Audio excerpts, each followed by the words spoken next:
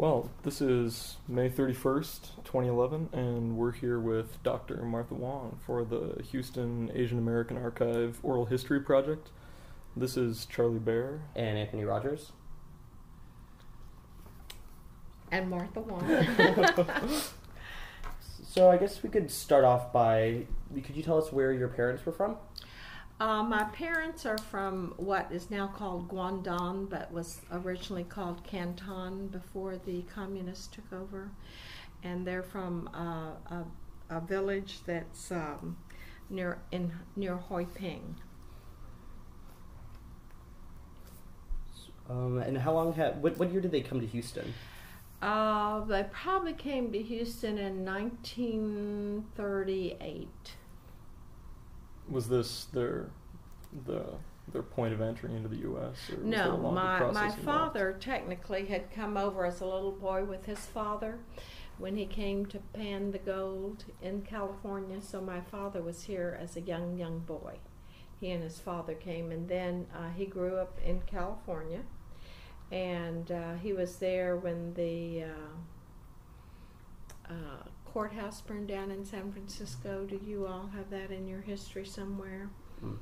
And uh, when the courthouse uh, burned down, all of the records were destroyed. And so all of the Asians that, all the Chinese that were there claimed they were U.S. citizens. So that's how my father became a U.S. citizen.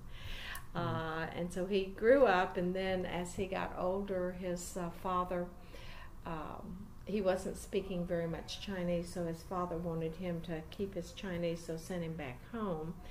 And, uh, And he was about he how was old uh, a, a late, uh, probably 16 or 17. Okay. And then he married my mom, and they lived there for a little while, and then they came to the U.S. and they came in through San Francisco, and then they went up to Chicago for a little while, as I understand, and then they went to Mississippi, where they opened a grocery store. And they there were, and when he opened the grocery store there, and uh, they were successful there in the city of Ruleville. It's a very very small uh, city and uh, my sister was born in Ruleville in what 19 she's three years older than me i was born in 39 so she was they must have been there in 36 and so um, later on she was going to go to school and they saw uh, during that time in the schools they had segregated schools they had uh, schools for blacks and schools for whites they didn't have any schools for Asians, and Asians were not considered whites. So the Asians had to go to the school with the blacks, and my father saw that the school was not in good condition, so that's why he came to Houston. So that he was, uh, he assumed that the schools would be better here, and that there wouldn't be as much prejudice, even though um, the Chinese children here could go to white schools when they uh, became of age. When my father came, no one would rent him an apartment because he had a child and because he was Chinese, and so they stayed with friends. And then finally, they were able to rent a grocery store, and so they lived in the storeroom of the grocery store for And- many years. And what when what year did they move to Houston? Uh, that I, as I said, I think it was about thirty-seven because I was, or thirty-eight because I was born here in thirty-nine.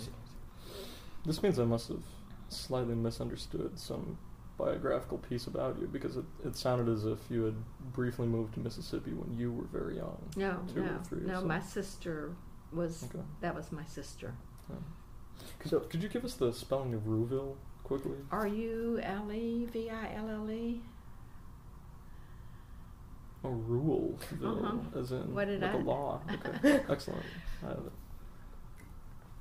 And what about your mother? How did she um, come to the United States? Were, were her parents here also? No, no. Uh, my father went back to China and Yeah, oh, married yes, her, remember. And sorry. then he brought her And over. that was Uh-huh. the process. Was she Okay. um, in the same vill- uh, original village, or how? Did, what part No, of did they uh, you know, each village is made up of uh, families, and so he's, of course, in the Jee family, but she was in a village where the Joes are, and it Okay. wasn't that far.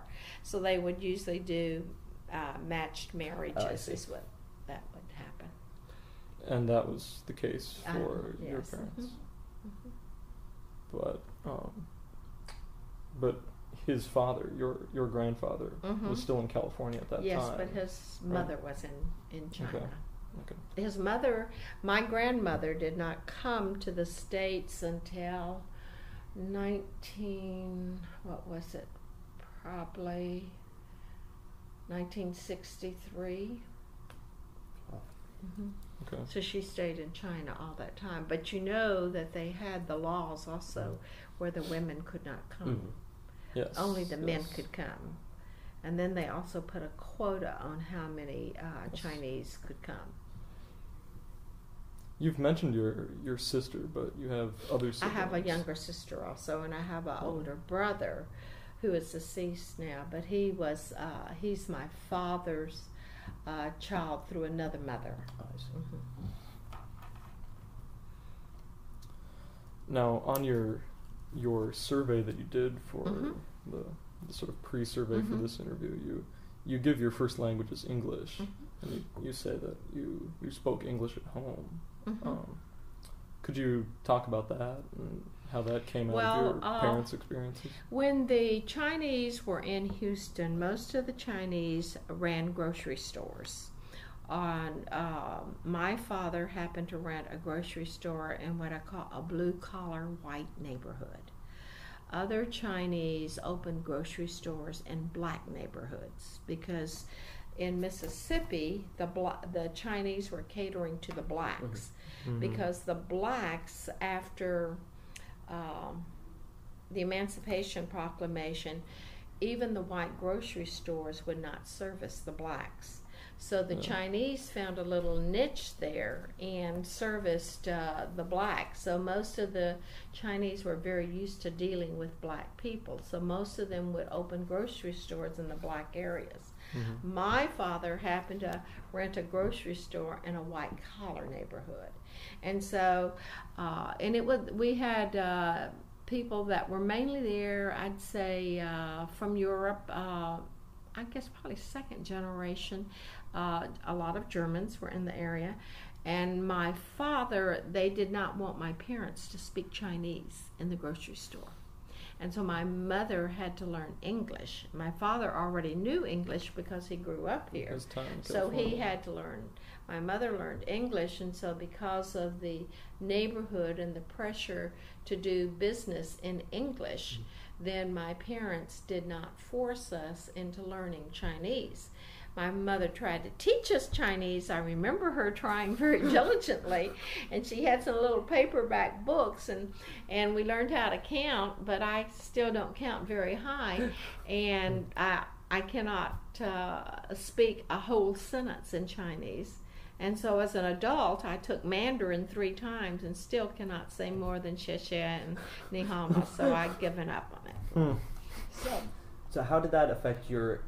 How how involved were your parents in the Chinese community in Houston? Uh, my father was very involved. He was. Um, they had at that time what they called the On Leong uh, Merchants Association, and that was a group of Chinese merchants, and they would uh, have. They would help other merchants to, you know, get started in their business. So my father was uh, uh, active in that. They also had what they call a Jee Family Association. My Mhm. maiden name is Jee. Yes. And so my father was a president of both of those associations, so he was active there. But he was also active in the Caucasian uh, society. Uh, as his grocery store succeeded, uh, he became a part of what they call the, uh, what was that group? They, a bunch of independent grocers came together because at that time, Weingarten Groceries was the big uh, grocery chain, and it was owned by the Weingarten family. They moved from the Weingarten Groceries into Weingarten Real Estate. Oh. Okay, and so they had a group of grocery independent grocerymen called uh, Seven Lucky Seven Grocery Stores. So independent grocerymen could become a part of the Lucky Seven uh, Groceries Association and buy their groceries a little bit cheaper and get advertisements and things like that. So Sure. my father was active in that also. He also was an air raid warden. I remember him being an air raid warden. And um, So he, he was active in the community. They uh, didn't necessarily join the PTA as we were growing up, or the they weren't active there. But whenever the school sent home a notice for help, they would always send money. And in those days, that was right during World War II when I was born and when I went Right. into school. Then there was also a shortage of sugar. Mm-hmm. But in those days, when we had, um, uh, they call them May Fetes, and in the month of May, they would have all the children out there. Each grade level would perform some kind of a little dance. And the fifth graders got to wind the maypole. And so it was their carnival at that time. And at that carnival time, they would make cotton candy. And cotton candy, you know, is made from sugar. Mhm. Sugar was very expensive. And so my father would donate sugar from the grocery store to the school. I remember taking the sugar to school. Were there other ways that you know, the World War II rationing process affected your your grocery business? Uh, I don't know about that because I didn't work in the grocery store till I was about 12 years old Yeah, or of course, you- you would have old, been so I wouldn't considerably have young at the time. You would right, have to find uh-huh, out so much I wouldn't later. have known about that, but I'm sure that there was. But I do remember, uh, and I don't know how old I was, maybe three or so, but uh, my father was an air raid warden, and they would ring these sirens. And when they would ring the sirens, we were supposed to go into the innermost part of your house. And we lived in the back of the grocery store, so we lived in the storeroom Mhm. and there was a grocery there was a bathroom in there but the bathroom had a window to the outside and we had to have a black shade to pull down so we could turn on the light when we were in the bathroom and they would sound that siren and we would all go and sit in the bathtub and pull the window shade down and have the light on and then they'd blow. And my father would have to go outside and look for airplanes. That was his job was to go out and see if anything was coming. And i guess i don't know what his how he was going to warn people or let people know Yeah. but i know that that's what he went outside to do while we were huddled in the bathroom. And then they'd do this second siren and everything was over but i These think were all drills. yes i think yes they were drills but that was what was going Okay. on i remember that happening very distinctly I have a question to jump back to briefly before we go any further on here. You, you've you've talked about how um, how the the the um, the the white black business relationship Mhm. was you know a much different situation Mhm. for a Chinese grocery store in Mississippi than in Mhm. Texas. Do you have any concept of why it had turned out that way? why why there was that difference in the way things were were conducted in Mississippi versus Texas. Well, I think it was uh, basically in Texas too. I think that blacks did not go to white grocery stores. Well, yes, but you've you've said that um, you know Chinese grocery store owners were Right. You know more consciously catering only to the I black think- population. And, and they did that mainly as a means of survival. yeah, And because the Chinese could also not shop in the store in the white, White stores. stores. so they found out that they could do they could buy from the wholesalers, and so when they opened, they could they so then they had food to eat. It was a matter of survival more Right. so than anything else, and they saw that people weren't taking care or there was no place for the blacks to to buy groceries from so they figured that that was a it's like finding your niche yeah. and that's what they did uh-huh But then the Texas schools were a different situation. yes the Chinese students could attend white schools in true. Texas when they couldn't in Mississippi. right but because most of the chinese that came from mississippi because they had serviced or had grocery stores in black neighborhoods they also opened grocery stores in black neighborhoods and my father was the only one that didn't Well, why did you know why he decided to open it? I don't, I don't know. I think that that he was, you know, that was the place that would rent to him. Oh, I see. Uh huh. hmm So, um, when you grew up, were most of your friends, since you went to a white school, were most of your friends white, or were there also Chinese students at your school that you? We were the with? only Chinese at that school. Oh, so how was that growing up? Fine, you know, I didn't know any different. Hmm. Didn't know any difference. I, I, I didn't see myself as Chinese, but I knew that on the weekends we would go and visit other Chinese families. So I knew that there were other Chinese, but I never thought about that. Mhm. You know, I, I I grew up not thinking that people were prejudiced against Chinese. A lot of this I have found out after I've grown up. Mhm. Okay, because I wasn't aware. We played with the Caucasians in the neighborhood. We went into their homes. They came into our little uh, store, you know, and the our bedroom and things there. So I had no idea. I I do not. I did not feel any discrimination as I was growing up. The Hmm. first time that I felt discrimination or that I was aware that people might not want to interact with the Chinese was when I went away to college. And one of my girlfriends, my sister and her girlfriend were going out to California. So they drove me to Austin and dropped me off on their way because I went to the University of Texas. To, Yeah. And my girl, my sister's girlfriend told me, she said, Martha, I think maybe you should put up a picture of your uh, Chinese boyfriend so that because my roommate wasn't there when I checked in, because she may not know that you're Chinese and you don't want it to be a shock when she sees you and you're Chinese. That was the first time I ever thought that somebody would not accept me is when my my sister's friend told me that. Never had any Hmm. idea because when I was in high school and in, in junior high school, I think there was one other family in junior high school that was Chinese. And uh, when uh, I went when I went to high school, and I would uh, my friends would invite me to their homes, and I would invite them to my homes, and I went out with Caucasian boys, and I went out with Chinese boys. So uh, there was no. I didn't feel any discrimination, and I was when we were in elementary school. Um, we were elected to be the American Legion Award winners, and we were in plays on the stage and everything. I felt no discrimination, and when I was in junior high school, I was in all the clubs and everything, and in high school, I was in speech tournaments, and I won speech tournaments, and I was on the yearbook staff, and I was in the honor society, and so I felt totally integrated, and Right. never felt that people didn't accept me because technically I was ahead of most mm-hmm. people. well, you say you never thought of yourself as being Chinese per se.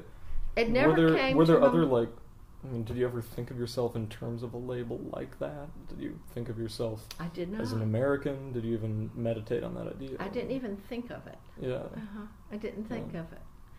I knew that I was Chinese because when I saw the other Chinese, you know, and when we would visit with them, and I knew that my mother tried to speak, teach me Chinese, okay, but I never felt that anybody was discriminating against me. So, um, I know historically that education is really important in Chinese society because of Mhm. Confucianism and things like that. Did you see that with your parents? Were they did they encourage you to to do well in school, and they did they encourage you to pursue you know uh, higher education? Uh, technically, my I, my brother, who was away in the Navy when I was growing up, I think he went to the University of Houston, and my sister went to North Texas. So, um, my they it wasn't so much of an encouragement as it was an expectation. Mm, Sure. We were Yeah, just okay. expected to make straight A's. I understand. Uh, there was, you know, I'd bring home my report card, and one time I made a, I think I made a D in spelling. And my mother just looked at me and she says, I think you can do better than that. You know, you, you'll make better next time. And uh, so then the, I brought it up, you know. And so we were just expected to make, my sister made all A's. I made all A's except for that one grade. I've been a terrible speller ever since then. It labeled me, you know, in my mind. I could not Stamped spell. you with It did. It did. I can't. And uh, so we've just always made straight A's. You know, there's never been a doubt. And it wasn't so much uh, you will go to college, it's which college will you go to. It Mhm. wasn't, you know, do you want to go to college or do you want to go to work? It was there wasn't a choice. Mhm. You know, it was Yeah. just uh, you decide which college you want to go to and you can go there. So Had your parents gone to college? no, my my father I don't think went any farther than probably sixth or seventh grade, and my mother did Oh. not go to any American schools at all. Oh. So she only learned to write uh, English as an adult, Yeah. and she did not write well. You know, she could only write the bare things that she had to because she had no education. Mm. Mhm. Now, were you had you been aware when you were growing up of how difficult it had been for your father to find a place to No. rent this store? I didn't know that till later. Yeah. I didn't know that till I was an adult, Mm. and uh, we were recording my father's history, and so that's when I, you know, because they never taught, they never complained, they never said anything about that. I never knew about it. Uh, I knew that we lived in the back of the grocery store, but I thought we did that for convenience. I mean, you know, it was easy. It was easy. You know, you get up from the bed and you go to work and just Mhm. take a few steps and you're there. But uh, in the we didn't have furniture other than a bed. We had a table and one chair, and uh, we we didn't have a refrigerator because the store had refrigerators. We did have a stove and a sink in the in the what we'd call the kitchen area of the storeroom. We sat on apple crates. I remember sitting on apple crates. And evidently, we had a high chair because there's a picture of us, of my sister, in a high chair. Hmm. But uh, I just remember sitting on apple crates. And in those days, the fruit was sent to the grocery stores in wooden crates. yeah. And so the wooden crate was our chair. My father was the only one that was allowed to sit in the chair. the rest of us had to sit on the apple crates. Then, then my father uh, tried to buy a house for us to live in when I was in first grade. So that was what I was probably six years old. So thirty nine. That would have been forty five. My father bought a house, but he could not buy the house. They still would not sell to Chinese. Mm. So he got one of his good customers to buy a house, and then the good customer sold it to him. So Oh. we Oh, that was nice. so we got we had a house directly across the street from where the store was. Do you, was that a common practice for Chinese people to I don't to know. get houses? I don't know, but I know that we were other people had houses, Mhm. but I know that uh, and and as I recall, some of my one of my cousins had a house in a um, over on Rosedale, which is it was where the Jewish people lived, and I think the Jewish people were le- leaving that area, and the uh, African Americans were buying there. And one of my cousins uh, bought a house there. I remember that being. I thought that was a Hmm. rich house. And then my father uh, bought a house, and then later on he built a house. Uh, had a house built, and it was designed by the first Chinese architect that went to Rice University. I believe that was a, a classmate of Dr. Chen. Well, that was that's him. It was it was Char- Charlie Spoken Chan. Yeah, Charles yeah. Chen. Uh-huh. He was We'll- the first yeah. architect. hmm We Ran through across the him. through the archive, we've met someone who's Mhm. a classmate of his. Oh, Who- really? Ed- Dr. Ed Chen?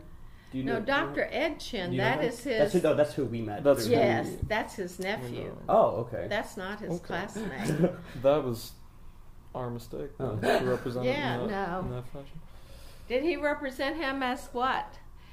His his mother was a Chin. No, his father was his father taught at Rice. Ed's father Mhm, I taught at remember that. Rice. And Charles Chin went to Rice Yes. and was the first architect, Chinese architect to graduate Hmm. from Rice. So they may have been relatives. I guess they were. They probably were brothers. Charlie was probably Ed's father's brother. That's probably how he got into Rice. Come to think of it. He didn't represent it that way to us. well, no, what did he say? He, I- couldn't be, he couldn't say he was the brother. No, he didn't say that. No, surely Oh. he's not the brother. I He is the son of the professor. yeah. That Mm. was a professor at Rice. Uh-huh. I I did have one more question about the Okay. grocery store. Um, you've said on your um, one of your old campaign websites that you worked there for years without pay. I did. Never got Oh. paid. Never got paid. well, what was that like? Um, It what did you, think weren't of ex- that? you, you didn't. You didn't think of it as. Yeah, You didn't. You never. it wasn't like it was a job. It was. It was It just was what a you job. did, right? Every day after school like- was since junior high school. In junior high school is when we started work, and every day after we came home from school, we would uh, put our books down and we would go work in the grocery store until seven o'clock. So Yeah. that would be about what three or four hours of work every day, and we would. Uh, I've done everything from cashiering to sweep, and we'd when the store was ready to close, we'd help close the store. We'd sweep the store. They used to put. They had cement stores at those times, cement floors, and you know they didn't have air conditioning. So Right. to keep the dust down, they had put this kind of a red mixture. I don't know what it was, and it's kind of a little oily. And they'd scatter that on the floor so that when you'd sweep it up, it would keep the dust from flying up on the shelves. Hmm. So when I used to sweep the floors and I used to stock the shelves, and whenever there was things to put up on the shelves, I even learned how to slice lunch meat. But I never cut up chickens and I never cut up a cow, and I learned how to weigh the vegetables to put like. In those days, they didn't have pre-packaged food, so we would have brown bags, and we would uh, have a scale and would uh, weigh potatoes and put five pounds of potatoes into a brown bag and staple it ourselves. So I did those kinds of things too. And I finally got to be the cashier. So I learned how to give change. I can give change better than anybody in the world. Kids today don't know how to give change. They don't know how to make money. You know, I- Wait for the, the machine to tell them what now coins tell to 'em give. how much how much to give. Some of them just you punch it in and, and it put it, and it comes out. Exactly. Yeah. Do, do you think that your your experience with your father's grocery store affected your later politics at all? Mm, not that I know of. I just remember one time when I was a little girl, and this was my father had a grocery store in North Main. Then he bought the house on Studewood. Then he built the two story house over on 19th. And after he built that house, then he moved the house on uh, Studewood to a, a lot. And so things were quite different then because he could do this all on his own. And then he built his own grocery store. And so when he built his own grocery store, I must have been in second or third grade. And my mother and father ran the grocery store. Basically, my mother would be the cashier and my father would be the butcher. And I remember one time uh, that my father, it was time to vote, and my father took me with him to vote. And my older sister and my younger sister stayed with my mother. My older sister was probably helping my mother in the store by that time. And I guess she couldn't manage all three of us. So my father would take off from the store to go and vote. And it was in those days where they have those curtains, and you'd Hmm. pull the curtains, then you'd pull a lever Okay. and my father took me to vote and I and I somehow that I think that made an impression upon me because I know he never left the store for any reason. You know, Hmm. so I figured, okay, if he's leaving the store to go and vote, that must be important, Yeah. you know. So because everything else was delivered to the store. You know, the milk was delivered to the store, the meat was delivered, so they never left the store because only two of them were there. Now, and then we did hire young young boys later on to come and deliver groceries and help as the business grew. But my father was always at the store, so somehow I think that made an impression upon me that voting was very important, and I've never missed a vote. So you seem to be pretty successful in in high school and in middle school. So how did you choose? How did you choose your co- what what university you'd like to go to? Um, and I went to the University of Texas in 1957, and um, all of my friends were choosing smaller universities to go to. And at that time, I was. I don't know whether I was head of the honor society or not, but I was an officer and a yearbook officer, and I wasn't in the drill corps. They had the Reagan Red coats. Coats. I didn't join that because I thought it cost money, and it would have, so I wouldn't ask my parents for money. And uh, we never asked our parents for money when we were working. We never even thought of asking. When we needed something, we would say, you know, uh, we're going to the movies and it costs this much money, so my Mm. parents would give us that. When we'd go shopping, my father would give us money so we could go shopping. And we would ride the bus to Foley's downtown and shop on our own. My sisters, the three of us girls, would go down sometimes. my mom would go with us. But um, what was your question that I So how did you choose UT? Choose Oh, choose UT UT. Austin. Okay, everybody else that I was going uh, that I grew up with in in in high school, they were all going to small colleges, and I decided. I remember saying this. I don't know why it stuck with me. I don't want to be a big fish in a little school. I want to be a big fish in a big school, and that's why I chose UT. So how did that? You- It worked did- out fine. Yeah. I, I, I right away my first year I was uh, tapped to go into more uh, into Spooks, and Spooks is an honorary service organization. And one of the girls in my dormitory, you know, we you know you take your yearbook with you to college, and they're looking through my yearbook and they see all these things I've done in in high school. So. Um, Spooks is made up of, um, I think they had four girls from each of the sororities, and then they had four independent girls, girls who had no affiliation with sororities. So it just so happened that one of the girls in the dormitory had seen my yearbook and recommended that Spooks tap me. And so, uh, tapping, what they do is uh, they wear their little black uniforms and a little black armband with a spook with a skull and crossbones on the side. You need to go look it up in the yearbook. And they come into the lunchroom and they form this chain and they put their hands on the shoulders of the person and they sing this little song, We Are the Spooks, the Spooky Spook Spooks, and we're here to tap you. And it's a real cute little thing. So you're, you're sitting there in the lunchroom and they come around and they tap you on your shoulder and so you're tapped which means you join you get to join the association so i did that in my freshman year. Yep. and then after that i was uh, in orange jackets which is a junior and senior um, a junior service organization. And my sophomore year i was president of spooks. And the they have a girl that's a spirit so i was the president.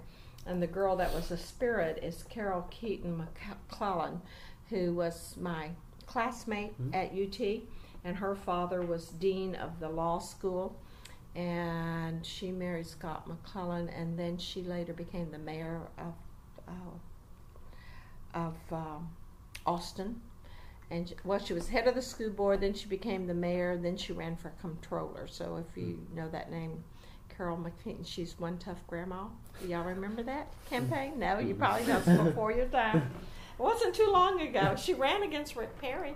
Oh, okay. Uh-huh. Well, not growing up in Texas, so I have a limited memory of recent Okay. political candidates in Texas. All right. So anyway, she was my my spirit. I was the president. We did that, and then I went on to mortar board, and I was a counselor in the dormitory, and I finished in three years, three summers, and one correspondence course. Now, you've mentioned that it was it was on the trip to UT that you sort of first, you know, conceived of the idea of actual discrimination against you as an Asian American. Uh, yes, when I got to my dormitory, and, yeah. my, and my friend told me that. How how do you think that your experiences in general, being Chinese, differed from what you had known in Houston and what you had known in high school? See, even though my friend said that, I didn't still feel discrimination at UT. But there weren't a lot of Asians there. Yeah. The and one of the girls that was there at UT was a cheerleader, and she was a Japanese. And you know, I didn't think anything. And in the dorm, everything was fine. I didn't. And then when I got tapped, I didn't see any discrimination. Mm.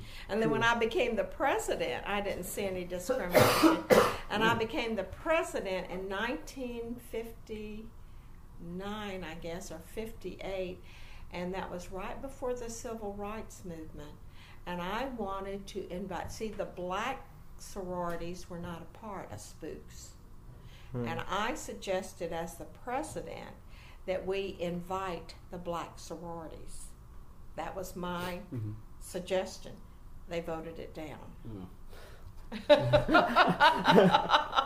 so in 1960s, after the civil rights movement, they changed.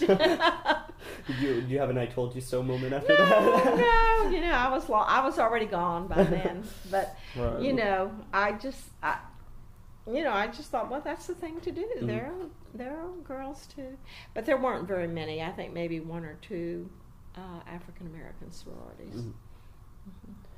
So, um, how did you choose education to be your main focus for your education? Okay, education in those days, women uh, mainly went into teaching or Mm. they went into nursing. Or and I didn't care for nursing. I didn't want to see blood. I didn't like blood, so I decided I'd be an educator. Mm. And then what they did is they said, so if you chose education, you went to this big room. I don't even remember, but I very distinctly remember that they say, okay, everyone that's going to be in higher education, come with me. So they people get up and leave, and they take them out to another room to get the higher the um, senior high school teachers that wanted. And then, okay, everybody that wants to be a middle school teacher, stand up and follow me. Well, the only thing left, I was just there. I became an elementary teacher. It was by default. I just didn't get up and leave. And it was something that they were. The choice was as casual as that. It Yeah. was here. Let me well, walk every, into this room. everybody else knew what they wanted to do. I mean, it didn't matter to me. I just, you know, I just couldn't make up my Mhm. mind. So I just sat there, and then I became an elementary teacher. So it sounds like you were not yet envisioning how deeply you went into administration later on. That's true. So you had your choice between nursing, education. So you chose education, then, I, Okay. By default, I chose elementary. but you seem to like it enough to get a, a PhD in education administration, though. So how? No, well, the PhD was a way to get to the top. Oh, I see. Okay, so I figured I'm not going to be at the lower end of the of the totem pole. I Mm. want to be on top. And so I, as soon as I finished college and got married, I got married a week after I finished college. I started at the University of Houston the same year I started teaching and, and enrolled in, in a master's program. Oh, I see. Right. Yeah. So um, how did You you meet your that. husband? Uh, I met my husband at my church at Chinese Baptist Church, Mhm. and uh, he was dating another woman, a girl in high school, all through high school, and I was dating his best friend. And then when we went to college, uh, uh, I had quit dating his friend, and then he started dating me, and so we dated through college. I see. So what did your husband do? He was a pharmacist. Oh, okay. hmm No, your um, your first job out of college was Teacher, Durkee Elementary. right? hmm How did you find that particular school? Were there were there other offers that you considered? Well, like when? I uh, when I finished the University of Texas, the uh, HISD, I knew I was coming back to Houston. Okay, because I was going to live with my parents, so I knew that uh, Okay. for a while. And then I got married, so I got married a week after I finished college. So my husband was here in Houston, so I knew I was going to teach in Houston. So when HISD came to UT to interview us, I interviewed with HISD and they offered me a job. Then when I interviewed with Spring Branch, Spring Branch also wanted me to come to Houston and to interview with Houston. So when I, this is the first time I really had any idea of prejudice. When I went to the Spring Branch School District and I visited with the person, the man that I visited with said, I want you to go across the hall and go into the teacher's lounge. and then I want you to come back and tell me what happened. So I went into the teacher's lounge. There were no teachers in there. I walked around and used the restroom and came back out and came back to across the hall and I told him I says, Well no one was in there and he says, Okay.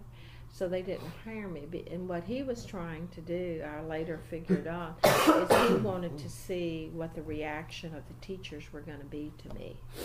Mm. Yeah. And that's the first time. But HISD offered me a job right off. And they assigned me, you know, they just assigned you to schools. Okay. And the school that I taught out was out in northeast, north, yeah, northeast Houston and there was one Chinese family that uh, attended the school. How big of a out of how big of a school? It was about six hundred kids. Okay. Mm-hmm. I mean, if the school was the principal right at the Spring Branch, Spring, Spring Branch district, whenever you went to another one, did the did your colleagues have any sort of reaction at all, or was it was he just what do you mean? I didn't go to another. I just went into the lounge Oh, there at that school. but- I didn't go to another school in Spring Branch. Oh no! To, when you went to the other district. Oh, when did, I went to HISD, Durkee. did your colleagues no, have any uh-uh. reaction? That line. Mm-mm.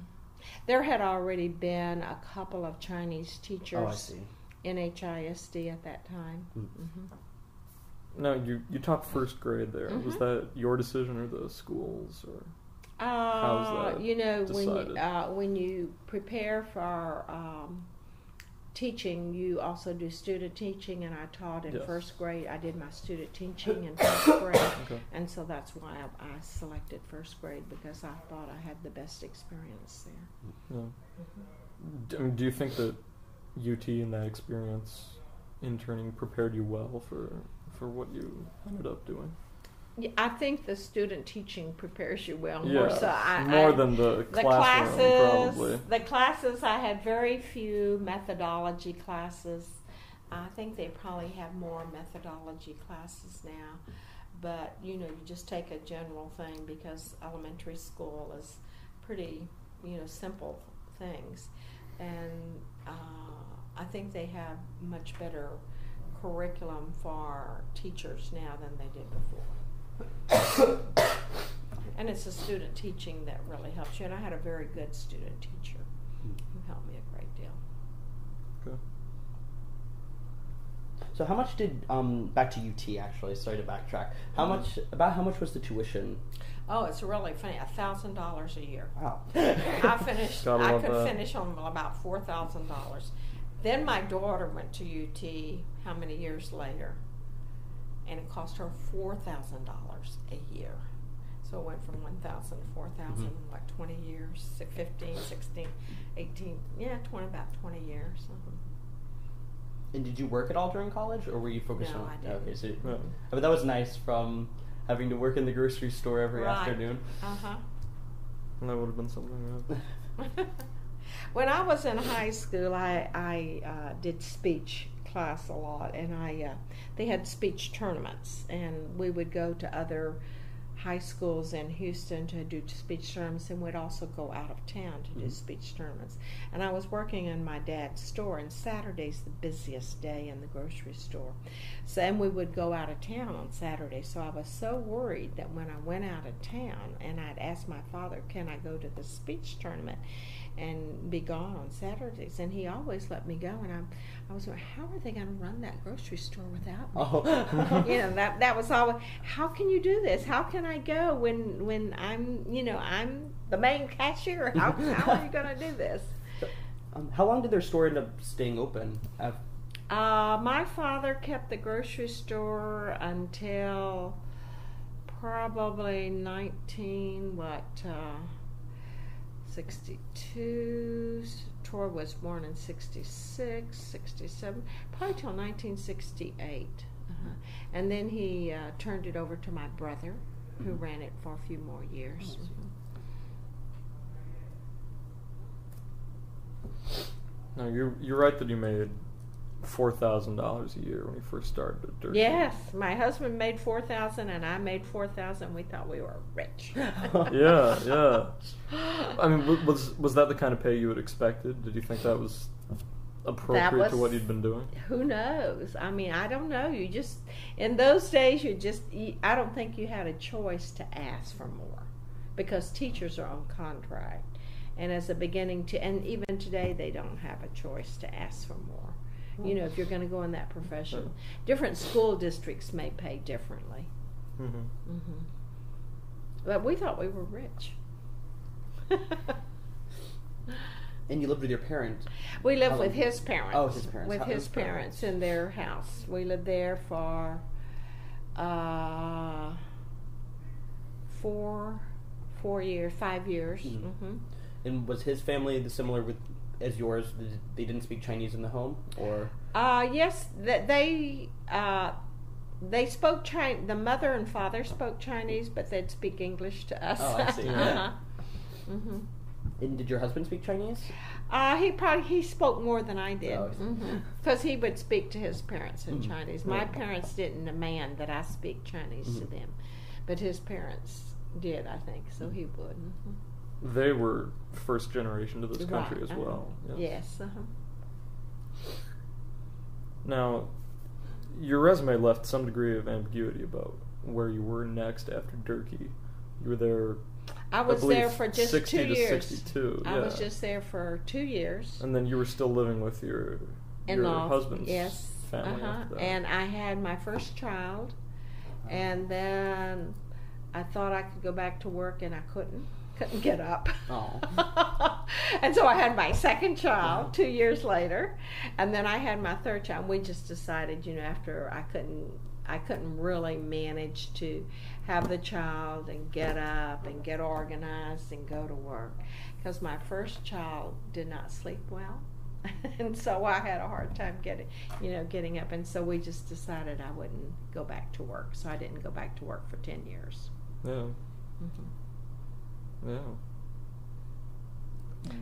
I didn't go back to work till the children were uh, and my youngest son was ready to go to kindergarten.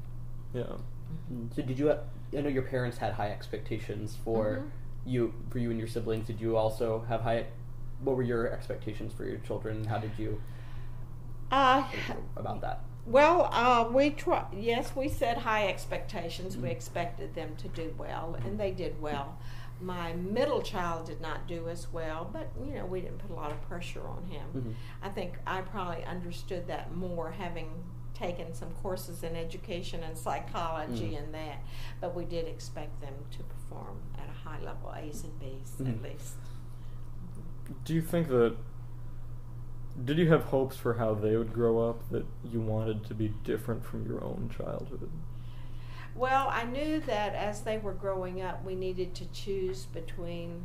Um, I remember us talking about uh, what did we want to emphasize in their growing up? Did we want to inter- emphasize the Chinese ways, or did we want to emphasize the American way of life? And so we decided, well, we'll choose the best. We'll take the best of the American way and the best of the Chinese ways. So you know, we would try to teach them obedience and manners and and uh, certain disciplines within the Chinese way that you would always address your elders, you would always, you know, uh, take care of the elders, you would always respect your parents and those kinds of things. Um, the same thing, uh, like we never, as I was growing up, uh, my father would come home late, but we never ate dinner till my father came home. So well, he wouldn't get home till sometimes eight eight thirty. So we would always wait till he came home, and then when we were living in the two story house, I remember my father would go upstairs.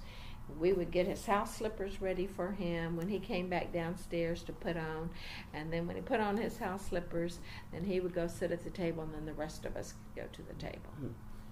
Okay, so so we tried to I tried to do that kind of thing to make sure that uh, we would. Uh, uh, my husband was a pharmacist, so he didn't always he wasn't always home when because they had weird hours, you know. Yeah. Um, in fact, when we first got married, he was working at night and I was working in the day, so we were just kind of passing each other. Uh, and then as the children came, then uh, when he was home, we made sure that you know that they showed him the proper respect, and that when he came home, that they always would run to greet him, and uh, to do the same kind of things that I was taught to do for my father. Mm-hmm. Yeah. How do you think the experience of growing up Chinese had changed by the time your children were growing up? Uh, uh, the city was much bigger. There were more Chinese uh, in Houston than there were when I was growing up. And um, we lived in Meyerland, which is a very um, white neighborhood. There were a couple probably let's see, the elementary school they went to. There were probably about maybe two or three other families, but they were uh, they were raised very Americanized. Mhm. They Mm. uh, they were in little league and they were in Boy Scouts and and uh, campfire girls and all of that good stuff and and I was a campfire girl leader, and my husband was a Boy Scout leader, and Yeah, they did that. they did Indian guides, and and they did. Uh, he was the coach, and I was a team mother. So my parents didn't do that for us, Right. but because Yeah. we uh, had jobs that would allow us to have time with our children's activities, then we did it. Yeah. What do you think that their Chinese heritage has meant to your children then? What do I think their heritage has meant to them? Yeah. Well, as I see them now, I think that um, uh, I see them emphasizing some of the same things I emphasized uh, To their them. children, Yes, uh huh, uh huh. I see them doing that. Uh, I have one son that's not married, uh, and uh, I think that he. Uh, my son goes to a Chinese church, and my son here goes to the same church that he grew up in. My daughter in California is in a very small town. So they were going, they had started a Chinese church, but they didn't like the direction of it. So they're now at a Caucasian church. So their children are totally Americanized. And my granddaughter does not feel comfortable with Chinese. So Mm. that's completely different. Mm. Whereas my my children, I think, felt comfortable with Chinese and felt comfortable with Caucasians both. Because when I was at city council one day, I was having lunch with some uh, young professionals, and um, we were talking about how are they going to get ahead in their company and what are they doing to get ahead. And I was trying to mentor them and give them some ideas.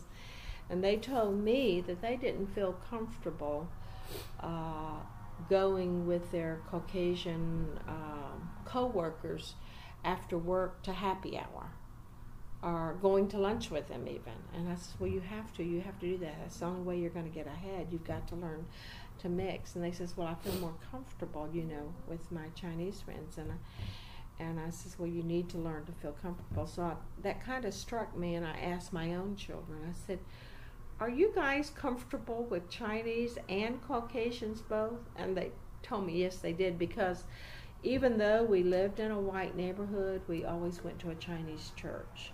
So they always had Chinese friends and uh, Caucasian friends. So they, you know, and then as they grew up, it was that way too. Yeah. Um, I've read articles about how um, Asian churches in the United States have u- used it as an outreach for new immigrants coming into the cities. Mhm. Did your church do the same thing? Uh, it didn't until more recently, Mhm. after 1960, when more immigrants were able Mhm. to come. yeah. Mhm. There was the the major change to the Yeah. immigration Mhm, in laws at that 1960. time.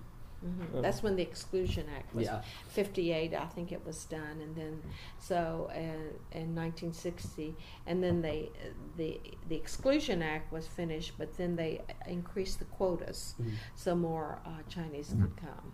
hmm And I think a lot of Chinese also uh, gravitate uh, to find other Chinese. So I think that they will be going to places where they know that there will be Mhm. Chinese more Mhm. so than I think the because I have a friend here that's Chinese, and she went to Second Baptist Church, and she told me she went to Second Baptist Church because they had classes for the Chinese to Mhm. learn English. Yeah. So I know a a lot of churches Mhm. here they'll try. to Whereas our Chinese church doesn't do that. oh, see. we don't. Yeah. We have. We do now, but we did, did not Mm. do it for years because they catered. Our Chinese church catered to the American-born Chinese. Oh. That's noteworthy. Yeah. Mhm. Yeah. So uh, how did you? You said you didn't work for ten years. What? How did you jump back in, back onto the boat? It, back to teaching. when I stayed home with the kids, I did everything. I, Mm. you know, I was Miss Susie homemaker. I ironed the shirt. I ironed.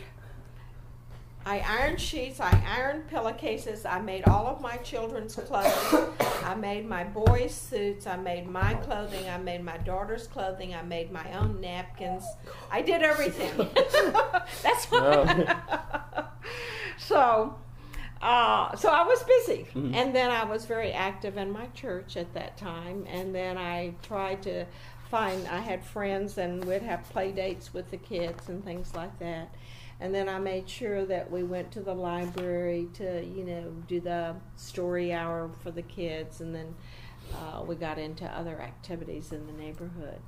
Uh, so that kept me very busy. And then when my uh, we decided I would go back to work when our youngest child was ready to go to kindergarten. So when Troy was um, five years old, then my mother and father had retired, and we lived on one side of the school. We lived on this side, and the school was here. And my parents lived on this side of the school. Hmm.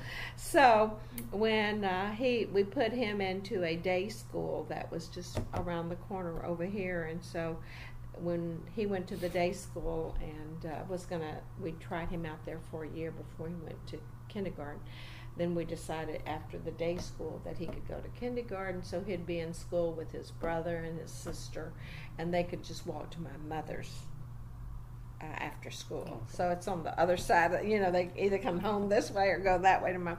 So that's when we decided that I could go back to work. And at that time, it was very hard to get a job in HISD. Uh, so what we tr- what they the only places they were hiring was in special education, and there had been a I was new going to ask um, about how you got more specifically into that. they had a new federal law, 94 142, 94 one, federal law, 94 one, where they um, uh, said that all uh, special children should be integrated into the regular classroom as much as possible.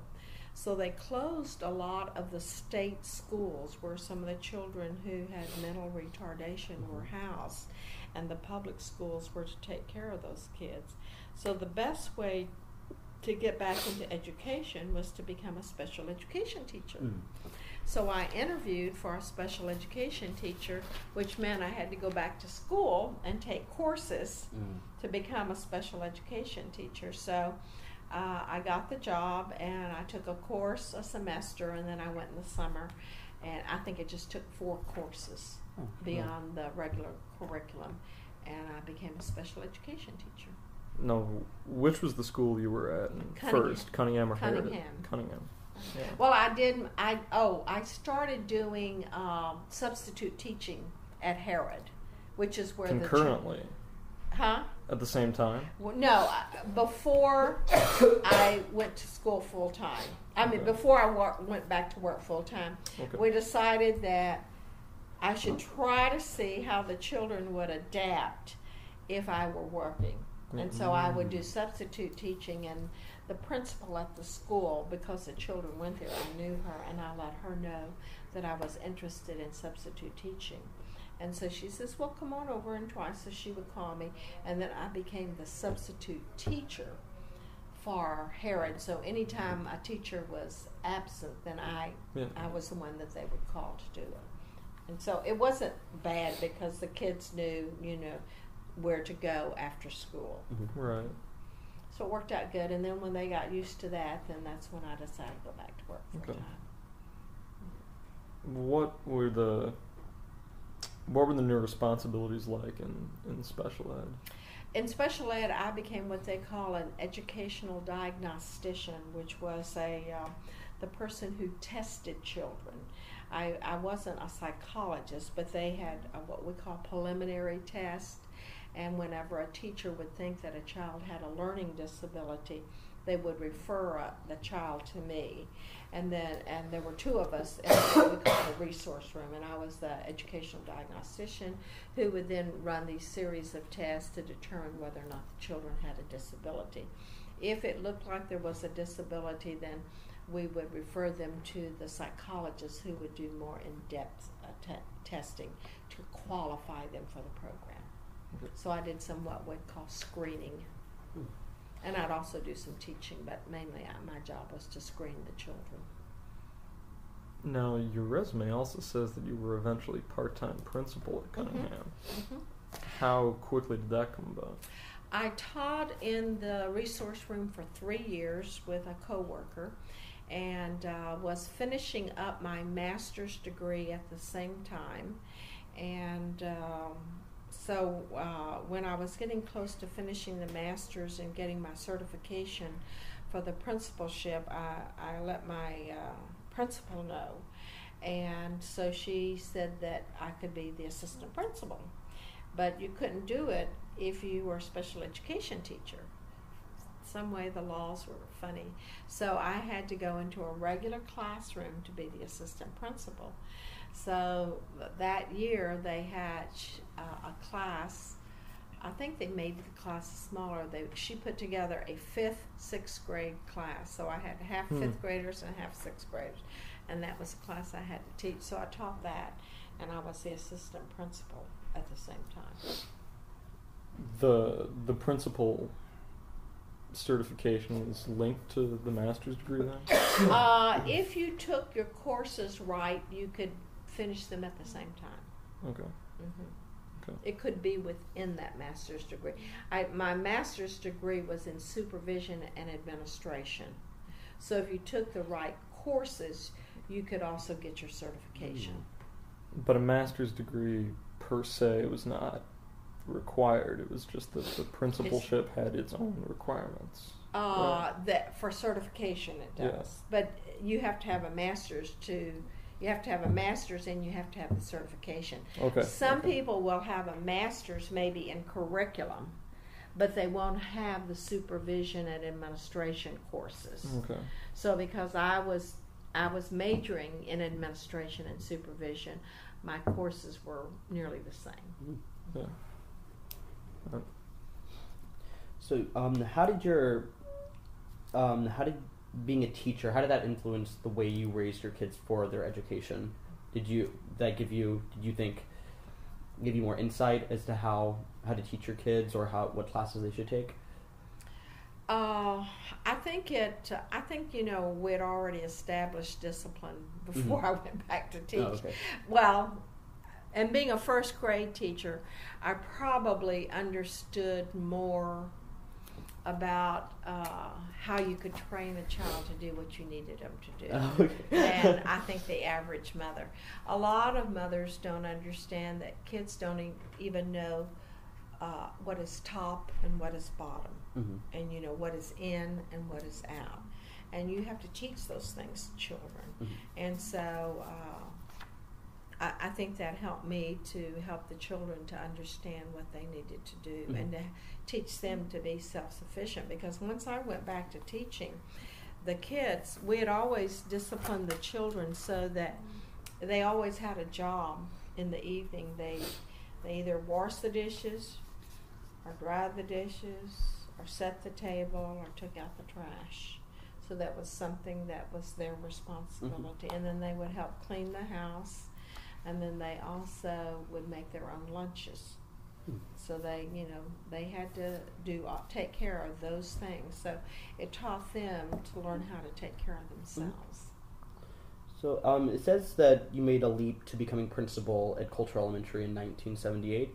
So Mhm. how did you how did you make that jump? Uh, my assi- my principal when I was at Cunningham uh, really liked me, and, and she knew that I wanted to be a principal. And um, the principal at Coulter had been there for 17 years, and she was an, a friend of, of my principal.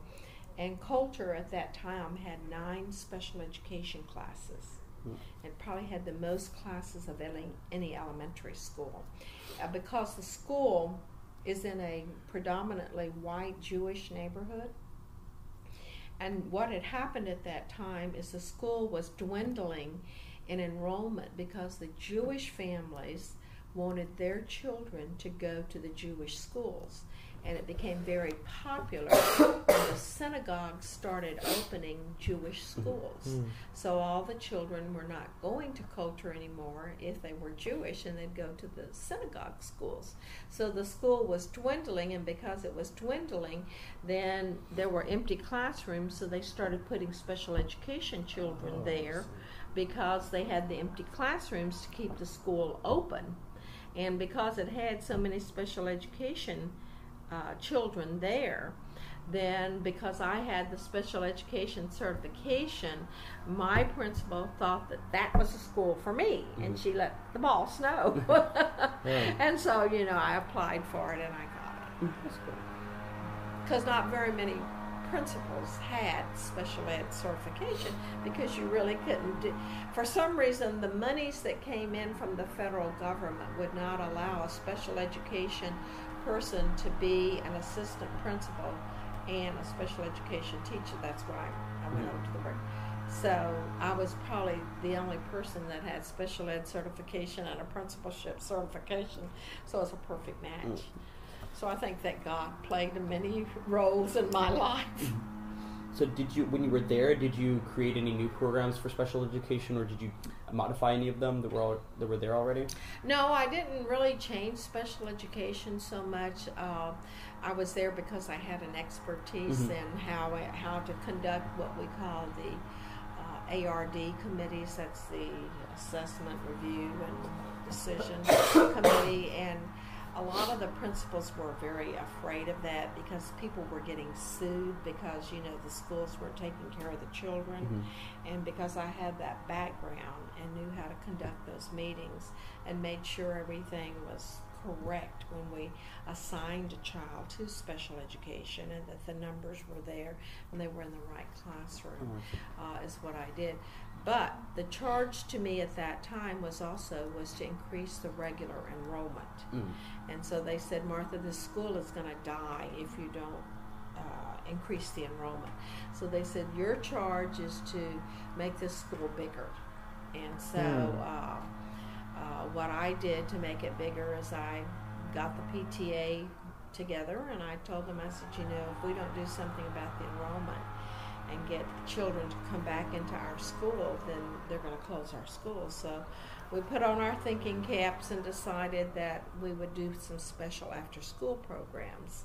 So we uh, started, uh, the PTA sponsored a um, Spanish after school program, and we sponsored a computer program, and then we sponsored a special math program. So I developed all of these special programs, and we hired other teachers to come in and teach these things after school. And we charged the children just a little bit of money, and the PTA was the one that collected the money and kind of ran the programs, the financial part of it, and I would select the teachers.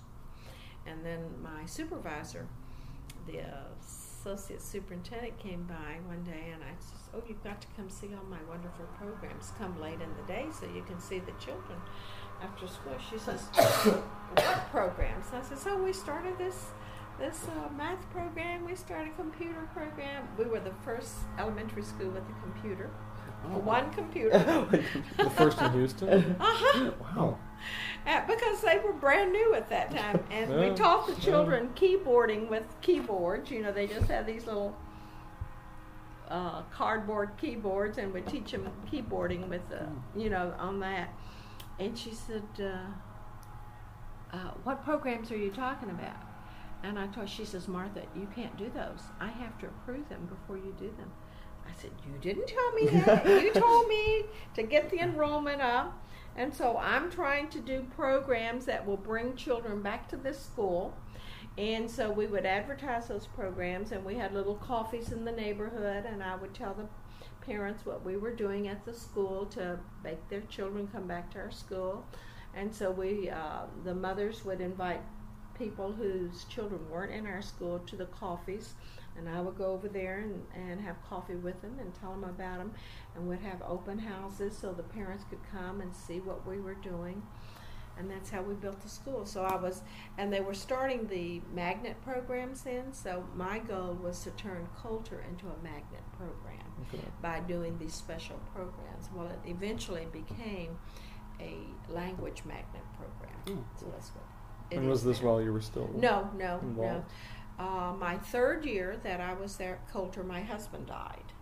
Yes. And so after he died, I had to finish up my doctorate because you only have seven years to finish your doctorate. And I was going to school one course at a time. Mm-hmm. And so my I only had like a, a year and a half left to finish my doctorate after he died.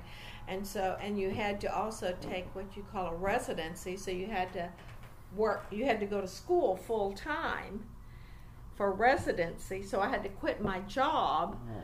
To go to school full time and take a full course rather than you know just one course at a time. So I took a leave of absence and went to school full time a semester, and then I two summers, and that was my three full time semesters to get my doctorate. So this was the, the same time that your children were in college. Too. Well, yes, when Yes. the year that my husband passed away, my daughter started the University of Texas, and then my the next year my son started Sam Houston. Um, I'm sorry, he went to Stephen F. Austin, and then after that, uh, it was two more years later. Then my third uh, son, my third child, went to UT. My third child was at home when I finished my doctorate. The other two were in college. So you're all students. Mm-hmm. Yep. Uh, all at the same time. Mm-hmm. You are recorded as being the first Asian American school principal in Mhm. Texas. Were you aware of that when you first got the job? No. I just did things. you know, I didn't. I didn't. I don't do things to be the first. I mean, that's not my goal. But you know, I knew that I wanted to be a principal because I knew I could make more money, and I knew that I wanted to be in charge of a school because I felt like, and technically, the principal is the leader of a school, and if you have a good principal, you have a good school. If you have a terrible principal, you have a terrible school. It's not just the teachers; it's the principal. The t- the principal, like a CEO, sets the tone of the school, sets the goals of the school, and I knew that I wanted to be able to do that. So that's why I became a principal. So what was the salary of a principal and uh, compared to a te- just a regular Well, I think my first principalship, I got thirty-seven thousand dollars, which wasn't too much either, but it was big money then. Yeah, Yeah, I mean, there's there's bigger been than four thousand. Yeah. just a teacher. but that's quite a few number of years Yeah, that's later. true. Uh-huh. Yeah, there's been That's some true. Some inflation going Uh-huh, on through yeah. this whole process. Yeah. After your doctorate, you came to work for the overall Houston school district. I got my Um, doctorate, and um, uh, when I left my principalship, they told me they would save that for me, and I could go back to that school. But Oh. I Hmm. couldn't. They didn't. They Hmm. hired someone else, of course. So um, I. Uh, Well, does that mean that you were looking for a new position largely because your old one had now been right, filled, right. or because you were actively already looking for something else? No, because they filled my job, and I went up to, I went up to the superintendent. I made an appointment with him, and I said, "You promised me you were going to give me my job, and you hired someone." He says, "Martha, we're going to leave that job open." I says, "Well, you need to find me another job." He says, "I will, I will." There were no principalships available. He says, "Well, you just come work for me." So I Mm. he had hired a, a, one of the professors from the university to come in and do staff development. And so Yeah. he says, you just come and you work over here with Ron McIntyre, and, and he's gonna he'll help you. But that was after I finished my um, my three semesters. But I was writing my dissertation at this Oh, when I went back to work. Yeah. Okay, so Yeah. when I went back to work, I was working. is the timeline that I I was working in yes. central office, and in central office, I was working under Dr. Ron McIntyre, who was in charge of staff development. So I would work all day, and then I would go home and type out my dissertation. And there was a woman at the at the HISD that would do it on the computer. So I would, Typing out dissertations, a much riskier process on a typewriter. Yeah. Absolutely. Absolutely. Oh, it's pitiful. It's pitiful. I mean, what I would do is I would write it out longhand, Mhm. and then I would copy it from longhand onto the typewriter, and then I would take it to this woman at the HISD who would do it on computer, and then she would do it, and she would leave it for me the next day, and I'd have to read it to make sure it was right. And so every day we would do that. Every night I'd go home and convert it, and oh, it was Wow. maddening. Yeah. Now you- it's so easy. hmm Yeah. So the so employee I worked in central office. Yeah, the employee development Mhm, department, mhm. right? Uh, Mhm. And this was just where It was in the the, central the office. easiest opportunity was for you to be slotted in, or yeah, was that there... was the only place he could find a job for me Right. because the man Yeah. needed help and he had nobody under him. Mm. So he just gave me to this new man to do it, and the and the man was a crazy man. Well, talk about that. I mean, he was he he he was a very creative man, very creative, and he had this way of evaluating teachers, and that's what he was known for. That was his specialty. And when he was at the University of Houston, that's what he taught. So, also the crazy thing that happened to me when I was working on my doctorate is my uh, dissertation. My advisor, who was going to be my dissertation chair, retired Hmm. then I had to go find someone else to do it. So I found another man that I'd taken a course with, and that I was developing a, um, uh pris- principal assessment center with him, and he said he would do it. Then two of his students got in trouble, so he dropped me. And so I had no one to do my dissertation. So here I am in the elevator, nearly about ready to cry, and this other man who's there that was I took one course from him. I says, Will you be my dissertation chair? And he says, What happened to you? And I told him, he says, Oh, I've got so many students, I don't know that I can. He says, Well, I'll tell you what, since you're working with Ron, let Ron help you with the dissertation and I'll take care of the paperwork. so I had two dissertation chairs, is what Alright. I, uh, co chairs, because they were all so busy. And so Ron McIntyre, who was my supervisor at the school district, was the one who supervised my writing of the dissertation, and then the other fellow took care of the paperwork at the university. And then the one man who turned who students got in trouble when when I visited with him, he says, Martha. I don't know why you want to finish this doctorate. He says, My wife doesn't have a doctorate and she's completely happy. Oh. And I said, I looked at him. I said, I have come this far, and, and you, you're asking me why? I says, I can't believe this. And to this day, I don't know whether he told me that to encourage, to make me defy him Hmm. and finish it, or whether he was really trying to tell me, just forget it, you know. But I said, there's no way I'll Mm. stop now. No way. Now, working at the the central office was was a different situation from what you had been in. Oh, yes, Previously. very different. How well do you think it made use of the skills that you had acquired so far in your career?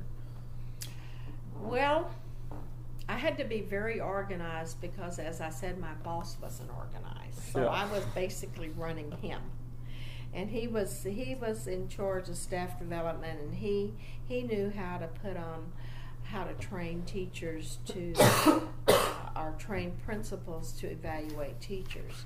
So at the same time, while he was doing that, we would visit, and he was re- uh, responsible for developing uh, all of the uh, assessment programs for the teachers. So I basically wrote the manual for him. so I wrote the manuals. He told me how to do it, so we wrote the manuals together.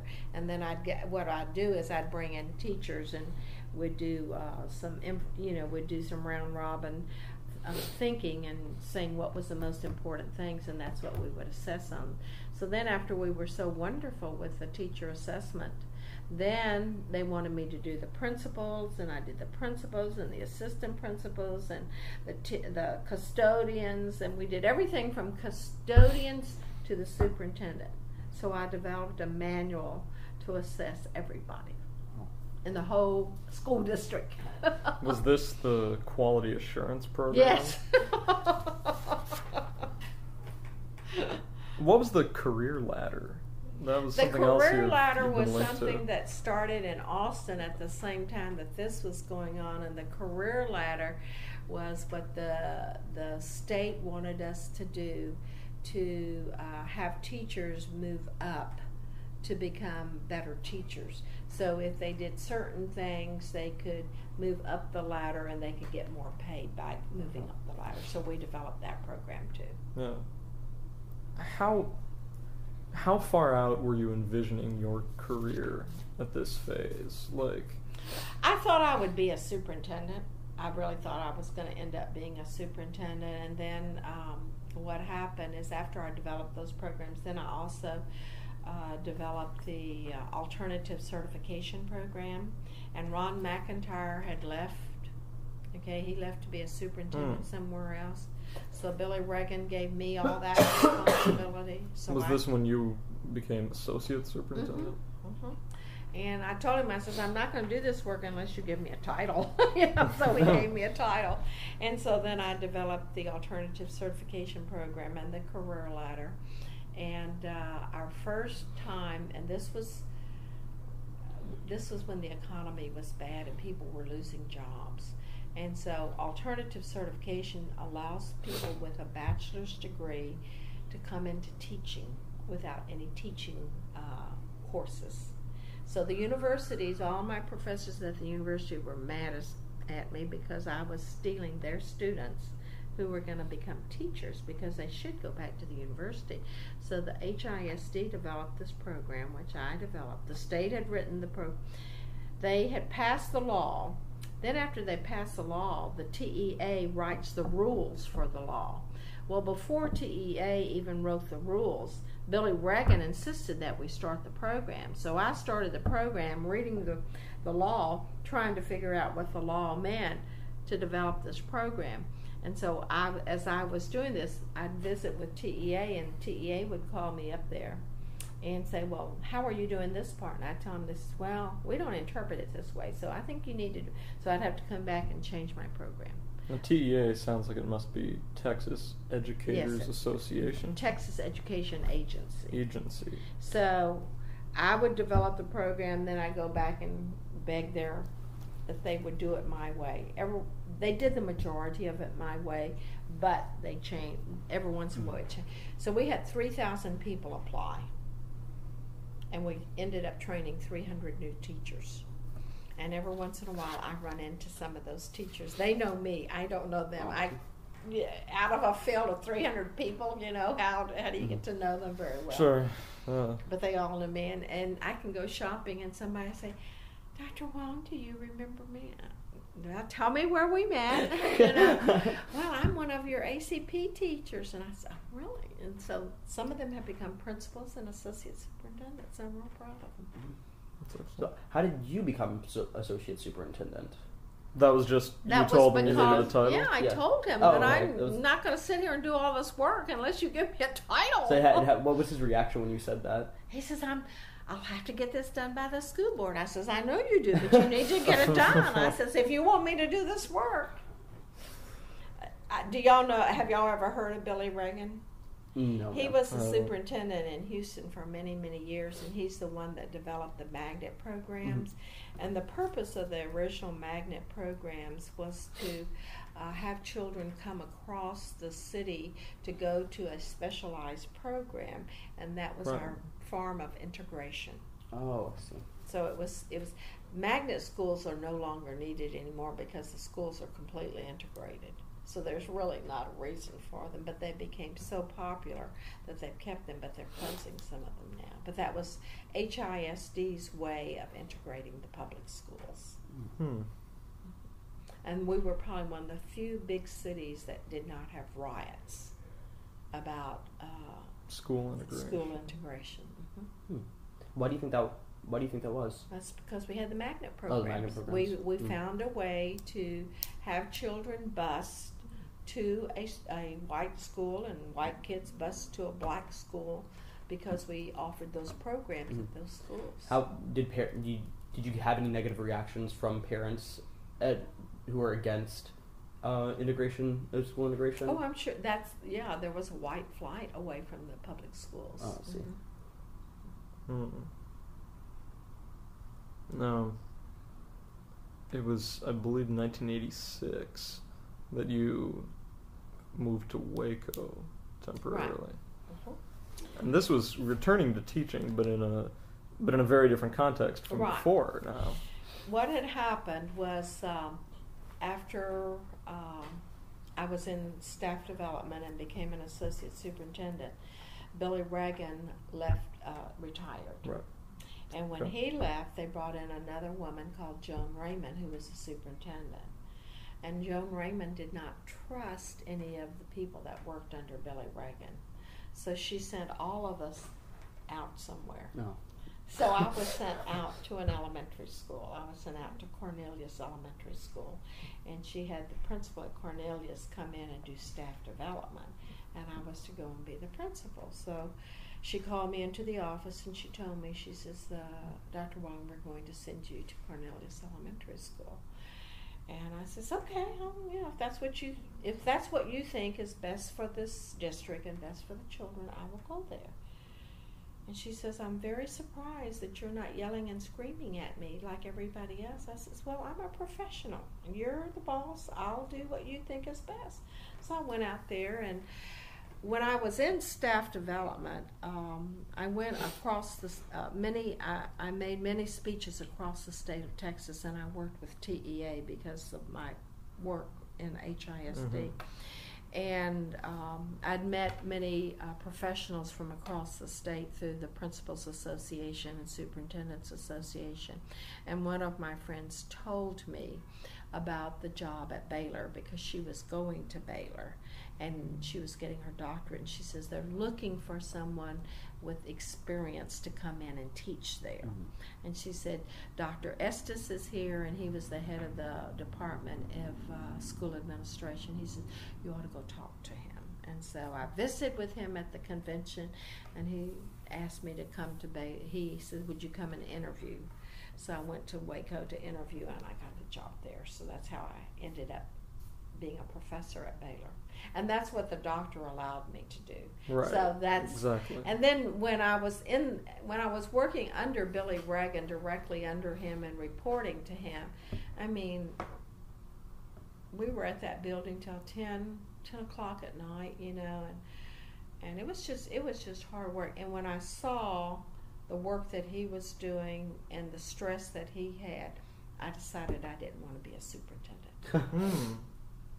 That so is that's when I decided I would go ahead, and then you know when when I, I knew with the doctorate I could either be a superintendent, it'd be easier for me to be a superintendent, or to teach at a university.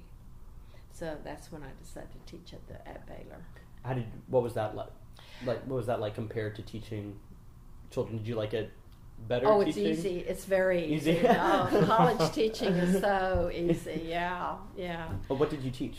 I taught uh, the history of education, Mhm. and I also taught um, organization development, which teaches you how to look at an organization and determine uh, how to make it better. Mhm.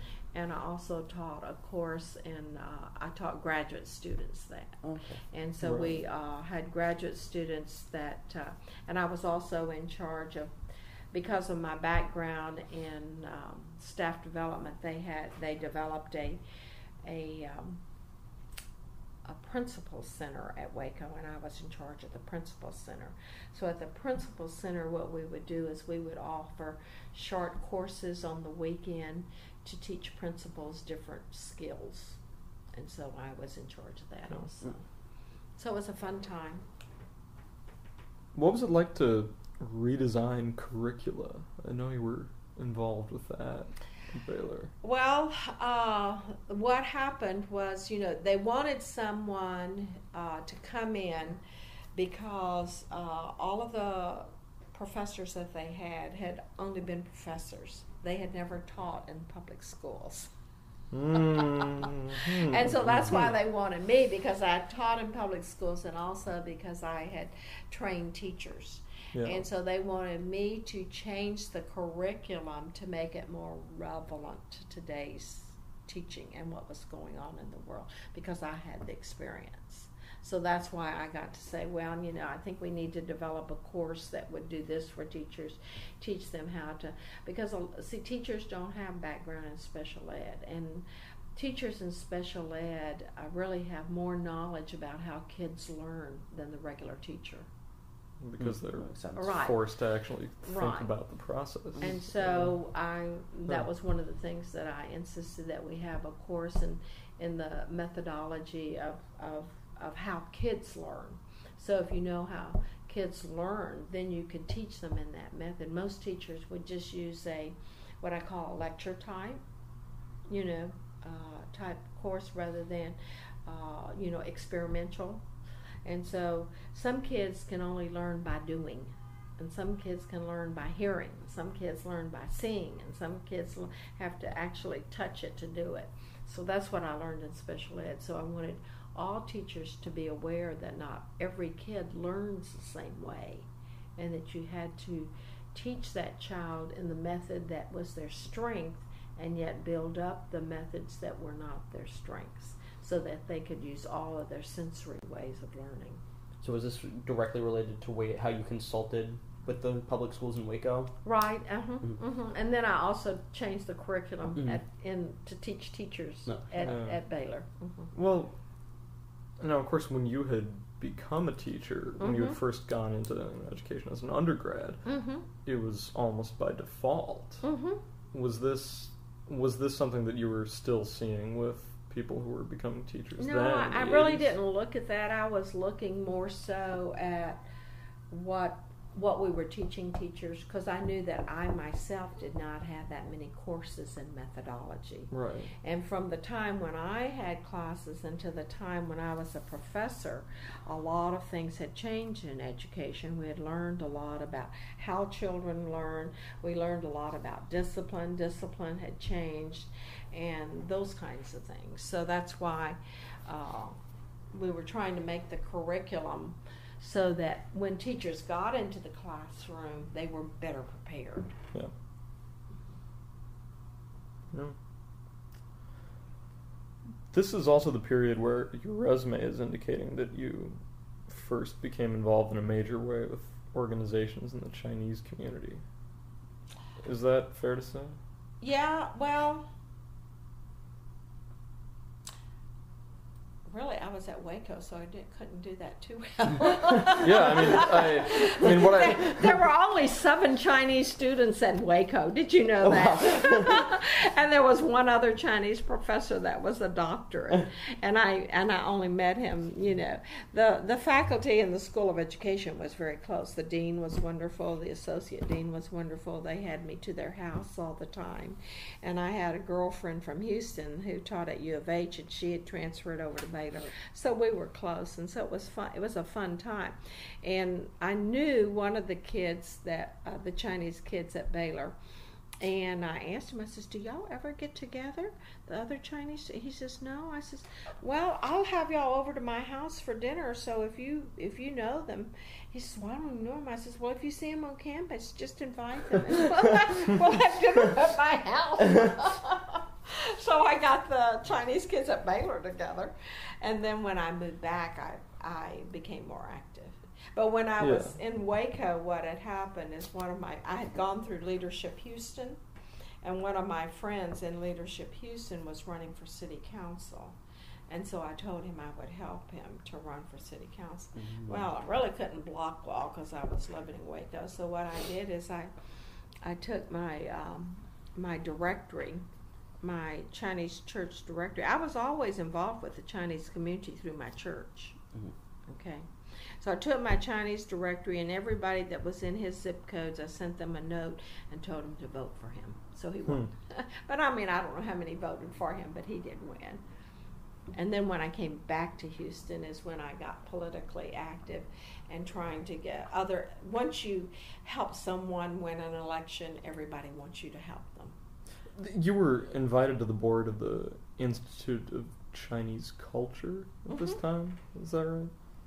Uh, I was invited to that board a long time ago, probably when I came back. hmm No. hmm And that that started out at Rice University, the Institute of Chinese Culture. We held our we taught Chinese classes there. Oh, Uh huh. Ed Chin told us about that actually. Yeah. Uh huh. And what was the course you taught? The course at NASA you taught on assertive assertiveness as a minority. Well, how did you, as your personal experience, how did you draw that, and how did you incorporate that into your course? Well, what happened? Um, the EEOC asked me to come out Mm-hmm. there and to teach a course on that, so I did. So, what I tried to do was, uh, I don't know if you, uh, the Asian culture teaches you, you know, to respect your elders and uh, to be polite to others. So, you really don't, you aren't supposed to be assertive, Mhm. and so most Asians aren't very assertive, and through my life experiences, I found out that you have to be a Mm. little bit assertive to Mm. to get ahead. And so uh, I uh, told them ways that they could do that, how they can do it without being offensive, and how your culture was preventing you from doing that.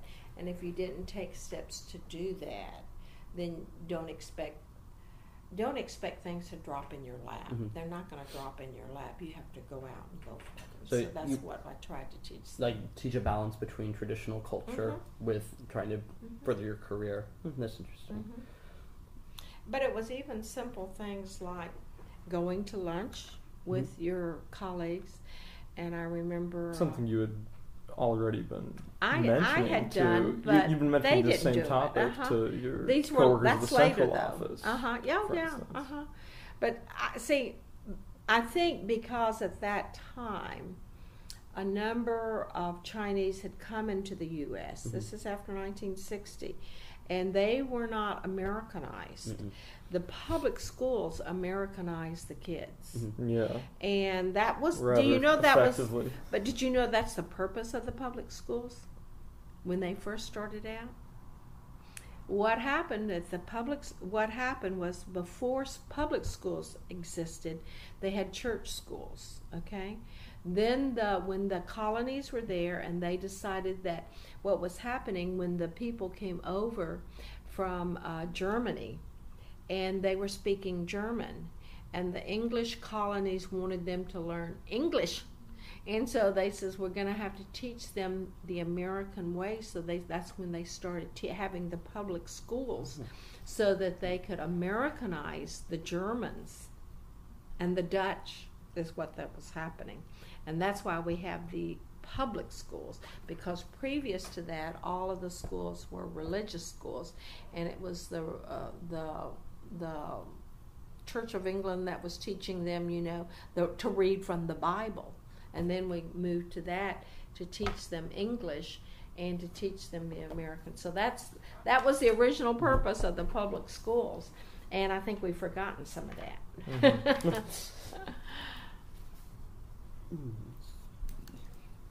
and I learned that through my teaching my history course. So, how did you, when you came to back to Houston in 1988, how did you get into the community college system? Well, I learned the good old boys club. Okay, Hmm. Uh, I, I I understand that, and uh, and you know one of my interesting courses that I studied was organization development, and so in that you also learn how an organization develops, and I have um, I had developed a lot of friends over the years, and one of the ladies that was when I was working in central office, one of the ladies on the school board, her name was Bobby Pfeiffer, and her good friend was Blue Alexander. And uh, those were two PTA ladies that, who had become very active on the school board. And, and Bobby Pfeiffer's next door neighbor was the next door neighbor to my pastor at my church for a long time. It wasn't Hmm. at that particular time. So I also knew Bobby Pfeiffer through my pastor's wife. Okay. So uh, when my husband passed away, shortly after my, no, before my husband passed away, my pastor's wife's, my pastor passed away, Hmm. and we had visited with uh, her. Then, after my husband passed away, Bobby's husband passed away. So the two neighbors, my pastor's wife, my pastor had died, school board's president's husband uh, had died, and then my husband had died. So we became kind of close friends Mhm. because our husbands had all passed. So, uh, and when my husband died, I called up Bobby because she was president. She was also on the HISD board, and at that time, the Houston Community College board was the same because Really? Houston Community College was became a, a separate entity later on, but the boards were the same. That's So I called Bobby when my husband passed away to see what to do about my son because he was not going to get any Social Security because he was in high school. And it was only kids in college who would get the Social Security. So Bobby told me to enroll my son in one course in the community college so that he could be a college student and get his Social Security from his father's death through college. So that's what we did. So Oh, that's how I knew Bobby Pfeiffer.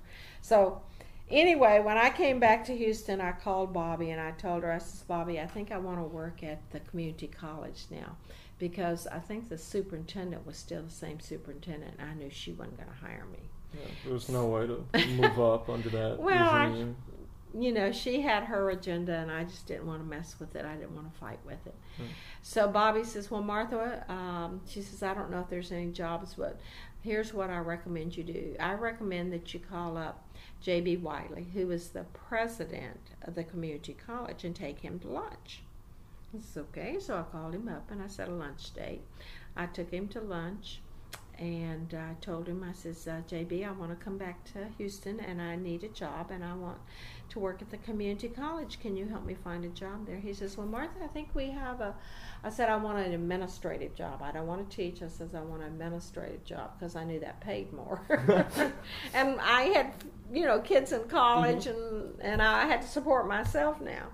So he said, uh, Why don't you go visit it? Uh, I think we have one job at staff development. So, uh, you know, I'd done staff development in HISD and I took my resume. He says, Why don't you go and see uh, Dr. Harding and, and see what Dr. Harding says? Interview with Dr. Harding.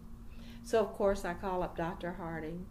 I get an in, I tell him that the president of the college had called, uh, I had lunch with him, and he told me to call you.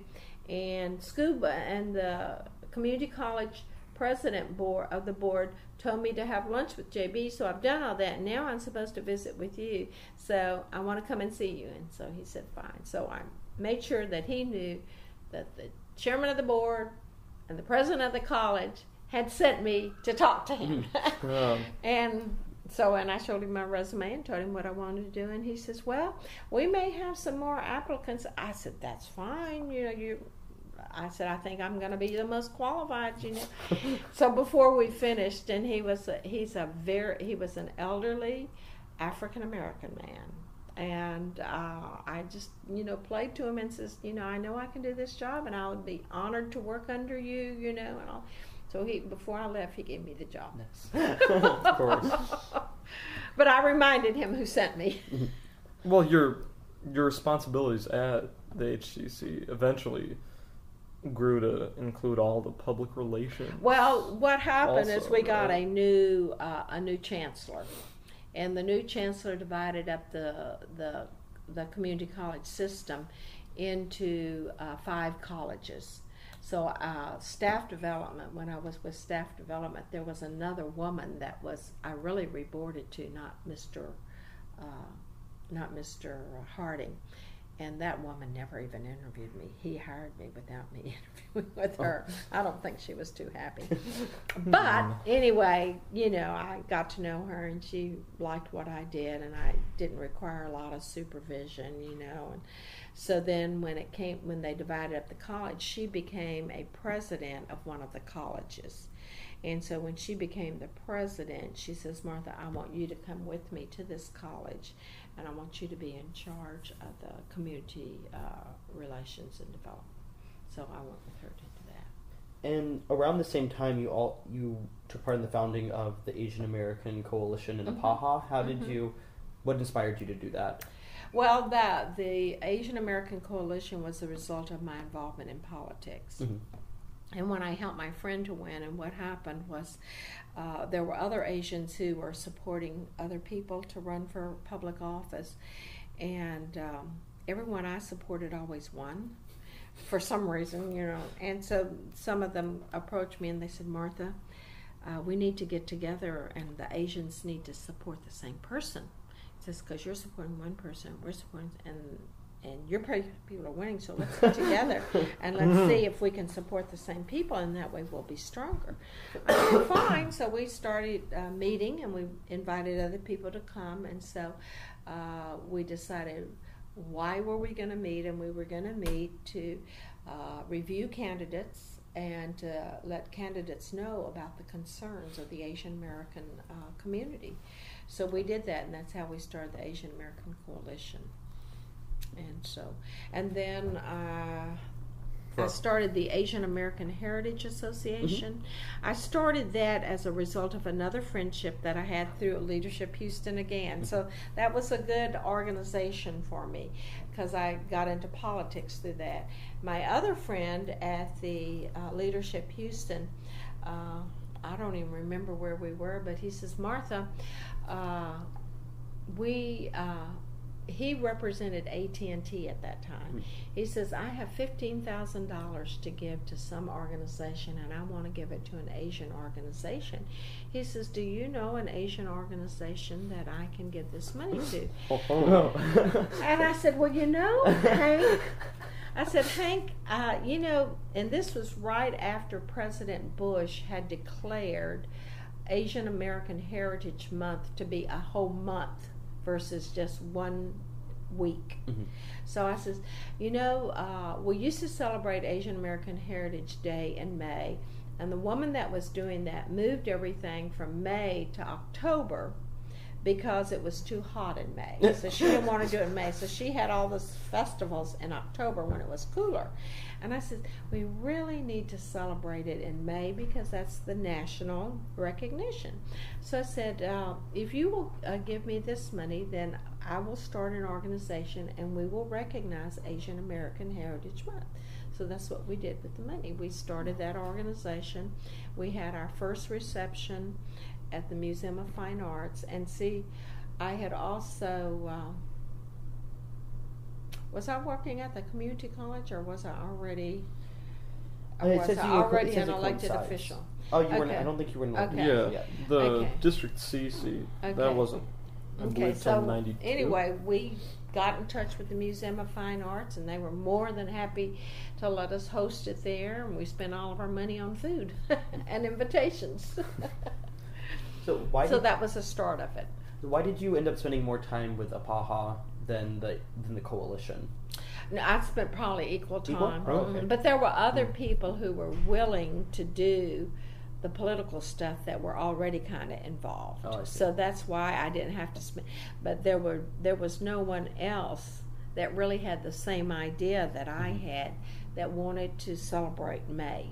No, I. So I had to build that. So that's why it took more time. Did the association stay like very focused on that month in the Yes, early yes. years? Oh, I, Uh-huh. I, I saw I, I saw the advertise the Mhm. promotions for this year's Mhm. actually for the the ramen competition. That's my idea. oh really? How come y'all didn't come and eat ramen I didn't. I missed it actually. I saw I saw it and was very disappointed that I missed it. It was bad. It was bad timing because I think it was the week of finals. Mm. It started the week of finals. Oh, so that we'll- would have been we'll have to loathsome move it. timing. If you, if I think they promoted that during, this, there were there would be a lot of people at Rice that would have gone. That's Uh, we a did fair have a point, cou- we did have a couple That- of kids from. Rice. Pardon? We did we did have a couple Really? of kids Oh. from Rice that came. Uh huh. But the person that won ate four four bowls of noodles in five minutes. oh my gosh. And the person, uh, the team, we had teams of three. They ate thirteen bowls among three people in fifteen minutes. and I think they were about ready to upchuck. We- but it was battle. fun. We'll do it next battle. year. We'll do it Uh, next maybe year. I should start training. yes, you should. So, um, you were also founder of the Greater Houston Women's Foundation. What did, what inspired you to do that? Well, actually, my friends that I had met through uh, the American Leadership, I, I also became a member of the American Leadership Forum. So, Leadership Houston led into the American Leadership Forum. And some of the women that I met in the American Leadership Forum wanted to start the Women's Foundation. And I was probably the only Asian that time that was in those organizations. Mhm. And so they just, they wanted to make it uh, ethnically correct. So they Oh, invited me. So I was happy to do it. I was invited to be the start of a lot of things because I was probably the only Asian that was a part of the American Leadership Forum and the um, Leadership Houston. Mm. And then what I did in those two organizations, I um, served on their boards and made sure that other Asians uh, were always invited to attend. I see you got their fabulous femme award very quickly Yeah. 1994. Well, that was after I ran for public office and could raise money. People Mhm. didn't. When you raise money, that's quite a skill, and that's what they recognized as people who could Yeah. raise money. Well, this has been already a relatively long interview, but I think Yeah. that we're possibly moving into a phase that may have a little momentum here at the end Okay. with your political career. If you if you think we should, then we may be able to just finish off our questions today. I think, That's and, fine and, and with just me. Okay. you know launch through all of Mhm. it. Okay. All right. When do you think you first had the goal of elected office? I really didn't think I was going to ever run. I mean, that wasn't my goal to run. My goal was to make sure that Asians had a voice at the table, Mhm. not necessarily Okay. me. It's just like I said, I never wanted to be the first. Things just happened that I ended up being the first. Things just happened that that uh, I got involved in policy. When we started the Asian American Coalition, what happened is uh, the year that Kathy Whitmire was challenged by Fred Hofheinz was our big year, and when we had a thousand people at a church to get involved in politics, and that was What year would this have been? that I don't even remember the year. It was must have been sixty what? Uh, no, it was in the seventies, probably seventy, maybe seventy. I ran in what? 92? Ninety? No, it was in in the eighties. Must have been in the eighties. Uh, because we let two two years go by. So I ran in ninety three. So '91, uh, and then in uh, 70, mm, 89, must have been about 1989, 1988, uh, when we had the big brouhaha with Kathy Whitmire and Fred Hofheinz, and we got them to come and speak to a thousand Asians. So we thought, oh, we're doing wonderful. Well, we endorsed Fred Hofheinz, and he lost. Broke your winning Yeah, streak. it did, it did. But it wasn't by my choice alone. What we did is we did a straw vote, and we decided Mm. that, um, uh, and we let everybody that was present vote. And we had voting machines, and we let everybody vote on the voting, so we could teach them also how to vote. So what happened is when Fred Hofheinz uh, lost, well, Kathy and Whitmire invited us to breakfast and was real nice to us. So anyway, uh, we decided that we shouldn't just endorse people; we should run someone. So we decided, uh, the group of us, there was a small group of us, we decided that Harry Gee, who is an attorney Mhm. and owns a law firm, should run for public office. That he would be the perfect candidate. So we got him ready. We sent him over to a consultant. He got his hair cut right. He got his picture taken and all this good stuff. So he's going to run for at large position. Well, what happens is this Chinese woman decides that she will run. Her name is Cookie Joe, and she's always been involved in politics. So she decides to run, and she runs and declares for the same position that Harry was going to run for. And she wasn't a part of our coalition. So she uh, runs. So Harry says, "Well, I don't want to run against an Asian," so he doesn't run. So two years pass. So then we decide, okay, this time we're gonna we're gonna run. There was you know it was term limits, so people could not run again. So another at large. So we decided, okay, Harry's gonna run at large this time, and then we're gonna run uh, someone in District F, where most of the Asians live out in Bellaire, Chinatown. So the guy that's going to run in Bellaire, Chinatown, is an engineer, and he has to consult with his firm, and he says that, you know, he thinks he can run and Harry thinks he can. Well, the woman files again for the same seat, Oh, so he decides not to run. And then the guy that was going to run out and F decides that he can't run because his company isn't going to support him and let him Mhm. take time off. So nobody can run. So here it is, Saturday morning, and we were going to have a press conference and announce these two Asian candidates. And so they call me up and tell me they they can't run. We can't call off the press conference. I says, okay, well then we need to regroup and decide what we're going to do. So we regrouped Saturday, Sunday night at my house. My district also was an open seat, so the person that I had helped get elected was not going to run anymore. Mhm. So we look at all the empty seats, and it's easier to win an empty seat than it is Hmm. uh, challenging an incumbent. Oh. So we can't get anybody in these other places. And the woman had done that. So my my district seat is open. They says, Well, Martha, then you have to run. I said, uh, Okay. All right.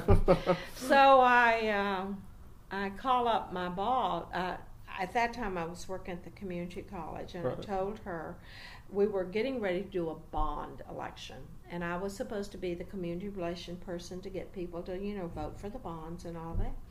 So I call up the lady and ask her. I says. Uh, are you going to get me heavily involved in the bond election? Because if I'm going to get heavily involved in the bond election, then I don't want to run for public office because you can't do both. You know, you have to really get out there and do. She says, "No, Martha, um, I'm going to handle all of it from the central office. You are the community relations people out in the community don't have to do anything." I said, "Okay." So that allowed me to run for public. office. So that's why I ran. Well, we lost the bond election. Hmm. She should have let us help her. Because you know you don't run it. You have to get down to the grassroots to pass bonds. So that's when I ran, and I I this was like the last day to to run. You know, uh, I think the last day to file is like a September twenty date, and they had already had people running since January. Oh, this wow. one guy, Mark Stelter, had been running since January, and he he had already had all the the uh, people who normally give money supporting him and and so it was really you know and when we found a consultant we went to this lady that we knew was a good consultant and i told her. She says martha it's too late. You shouldn't you should have declared a long time ago. It's too late to declare. And she says uh, I won't even take you as a candidate unless you can raise thirty thousand dollars. She says, "In a, if you come back to me next week, if you can raise thirty thousand dollars in a week, I'll take you." So I got thirty thousand dollars. I got five thousand from my sister. got three thousand from the second sister. Another five thousand from my mother. and at that time, my three children, I had my name on all their checking accounts. And I Isn't that called them up and I says, "Honey, uh, Mom's been supporting you all these years, and I'm going to write a check out of your account for my campaign." They didn't, you know, they. so that's how I got my first thirty thousand dollars. And so I went back to her, and she was so shocked that I could get thirty thousand dollars, and I didn't even ask anybody but my family. And so she says, "Okay, then we'll take you." So we really worked hard and very Mm. fast. How Called, called in every chit that I had. how difficult was it then to, to to get out your message against your opponents when you had that much shorter time frame? Well, technically, he was block walking and he had all the money. So I had my major problem was to raise money. So my friend Harry Gee, who is also my cousin, distant cousin, uh, he he's a very well known attorney, and he went to Mhm. law school with a lot of the people that were in charge of the monies at the law firms. So he introduced me to all of his buddies that were in the law firms that had money and uh, he would set up lunch meetings for us to meet and ask them to support me. Well, they were already supporting the other fellows, so none of them would Mm. would give me. He was friends with people at Fulbright. He was friends with people at um, uh, what's the other big law firm here uh, that is uh, uh, uh, Vinson Elkins. You know, Oh, he yeah. knew all those people and stuff. The funny thing is, uh, Joe B. Allen, who who was then at uh, Vinson Elkins, you know, he says, Martha, we're already supporting someone. So, but he was his roommate when he went to law school. Harry's roommate when he went to law school at UT was Harry Reasoner, who was the managing partner. So he took me to lunch with Harry Reasoner. Harry took me to lunch with Harry and those old roommates. And so by the time we finished, finished, Harry Reasoner said he would support me and his wife would support me. We all went to lunch. And when we were getting ready to get in the car, I says, Harry, Joe B. Allen will not give me any money from your law firm. Could you get him to give me a little bit of money?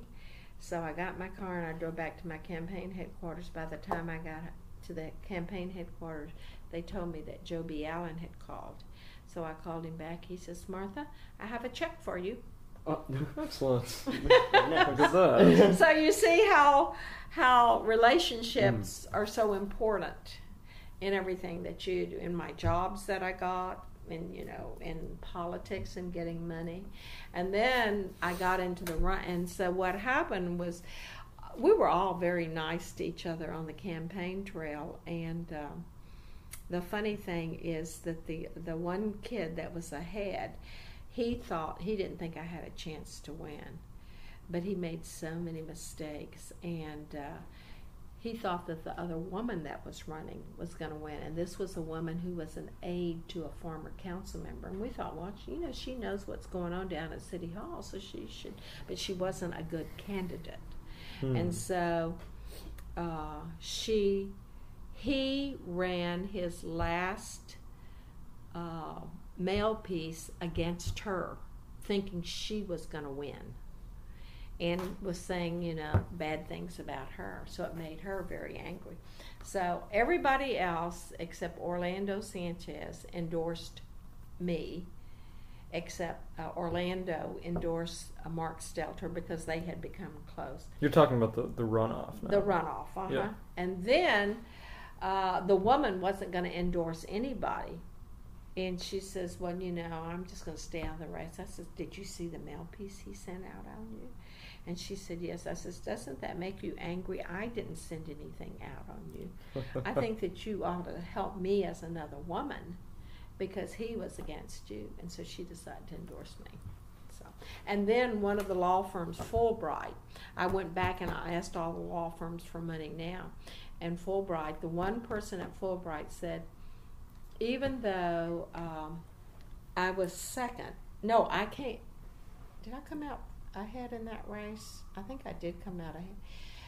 I came out ahead, and they thought that the guy would come out ahead. And so the one fella who thought that I could win that race was from Fulbright.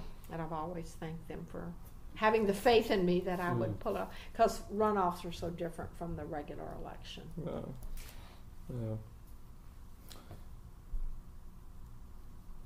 You continued the the theme of professional development to some degree in your in your work on the council with Mhm. um, you worked with training operations for the police and Mhm. public works and human resources.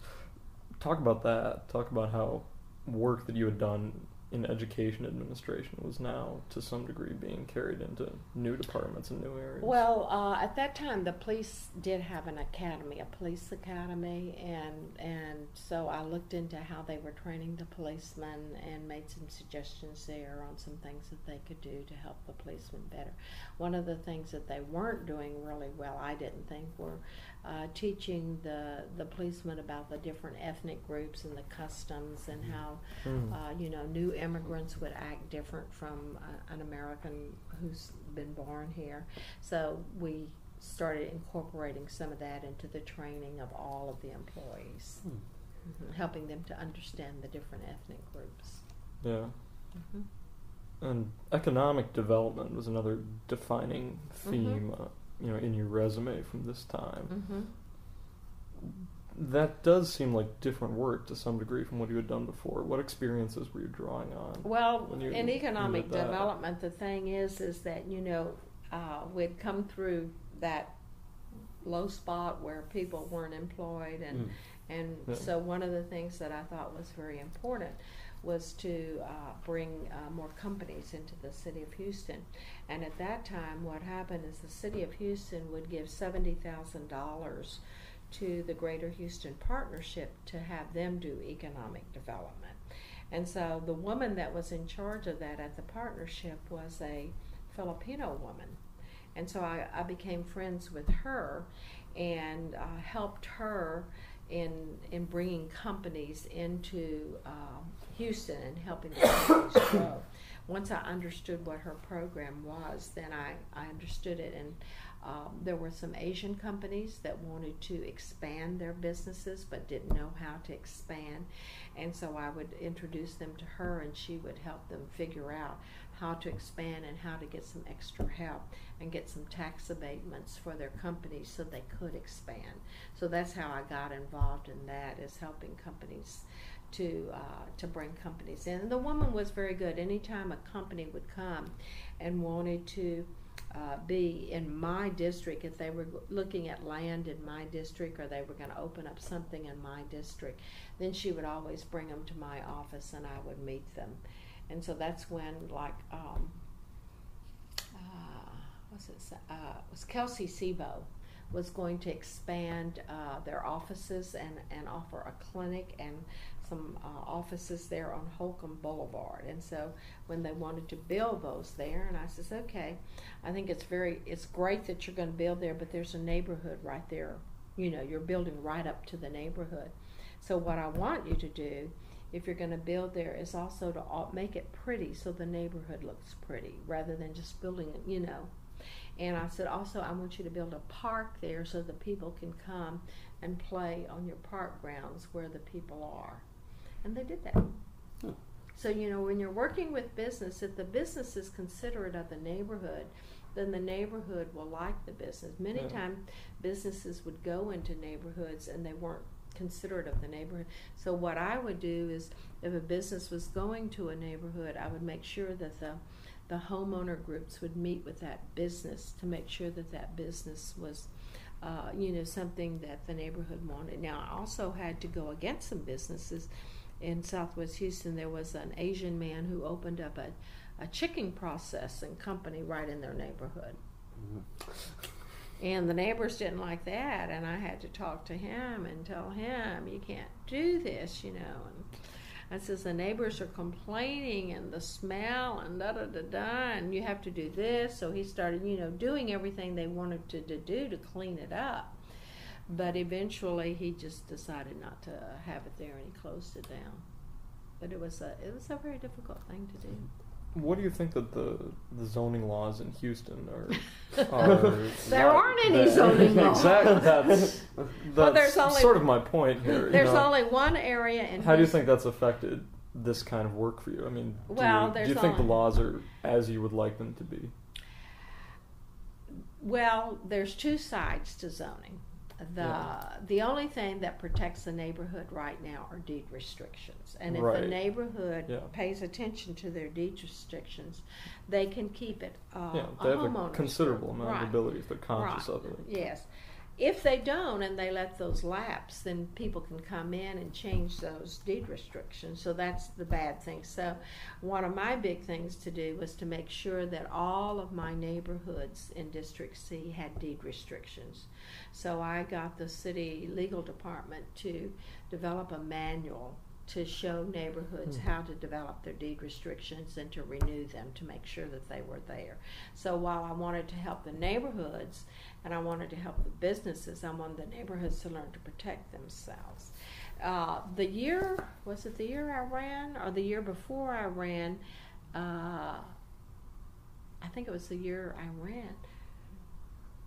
They had uh, they had uh, zoning on the on the uh, ballot and it lost. Hmm. And the people Oh, that defeated as like a referendum, yes, and the people that defeated it were the builders, of course. the developers. Yeah. And what they did was they scared the African Americans and got the African American ministers to tell the people to vote against it because they said they'll come in, the business will come in and take your properties. So they scared the African Americans, and the African Americans voted against it. Hmm. They said they were going to change the zones. That's what zoning was going to do to them. They were going to change the African American neighborhoods into commercial, and that's how they defeated it. Oh. So your work on the council got you appointed. Uh, you got, got you had appoint, uh, a position appointed by the governor, Governor Bush. So Mhm. how did how did that come about? That's that was. I tell you, God just plays wonders in your life. One time I was at the airport. What was I? I was probably going to a conference, and I saw one of my friends who had supported me, Charlie Miller, who's a big friend of President Bush, then Governor Bush. And he asked me, he says, Martha, how are you doing? I said, I'm doing fine. He says, Well, um, your term's going to be up pretty soon. Do you want to do, do you want to stay involved? I said, Yes, I do want to stay involved. He says, Well, would you like an appointment from from the governor? I said, Yes, I'd love an appointment from the governor. He says, Well, I'll put a good word in for you. Oh. So he put a good word in for me, and the governor's office calls me up, and uh, I go to Austin to interview, and um, uh, the man in charge of the governor's appointments uh, is one of the uh, George Bush's best good friends, and he went with him to Washington D.C. They live in in uh, in Aust- in Dallas, and his name is um, uh, what is his name? It's a great guy. He's he's the guy that started Horchow. Are you familiar with what Horchow is? Mm-mm. Horchow is a uh, a catalog that sells high end uh, furniture and accessories and bedding and stuff. And they sold it all to Neiman's, but they are a catalog company that sells high end furniture and things. He started that business. And so he's a very wealthy man. And then he sold the whole catalog thing to Neiman's, but they still call it Horchow. And Neiman's has their own catalog too. But when I went to visit with him, he says, Well, Martha, uh, the governor's picked out, uh, I'm going to recommend to the governor that you serve on the Economic Development Board. And I says, Oh, that's fine. I says, That'll be fine. I, I enjoy economic development. He says, Well, there's a little problem. He says, The agency uh, is in trouble and they're not doing well. Mhm. And he says, "So do you still want to do it?" I said, "Well, that's that's even better." I says, "We're going to go in there and clean it up, and it's going to look so good that we're going to be heroes."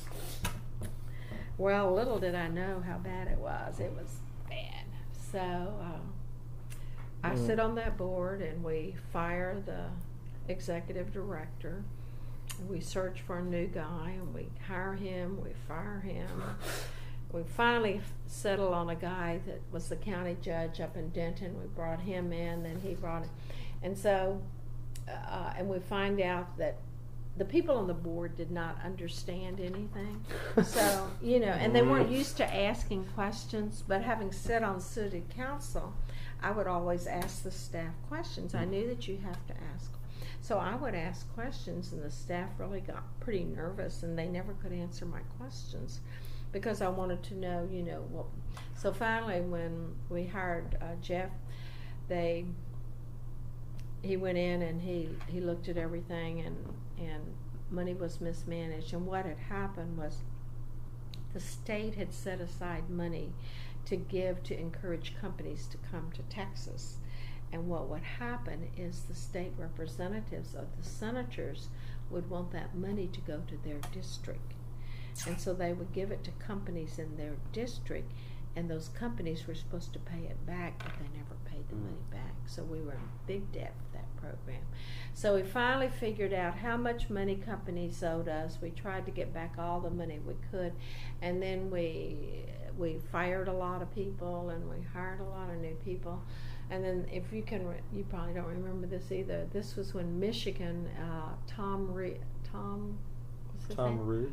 Ridge was a governor there, and he was doing economic development, and he was saying, "Come to Michigan," and we just said, "Well, that's the governor should be saying this to people in other states. Come to Texas." So we started working on that, and so we decided that what we should do is we should not have economic development as an agency, but it should be an arm of the governor's office. Hmm. So we moved it over into the governor's office. And it became uh, an office under the governor's office, and the money that was put in there, then the governor could use to bring other people in. The governor got onto that. Uh, it wasn't when Bush was there. We moved it when Perry was there. When Okay. Perry, when when Bush, and so and Perry's done a great job with it.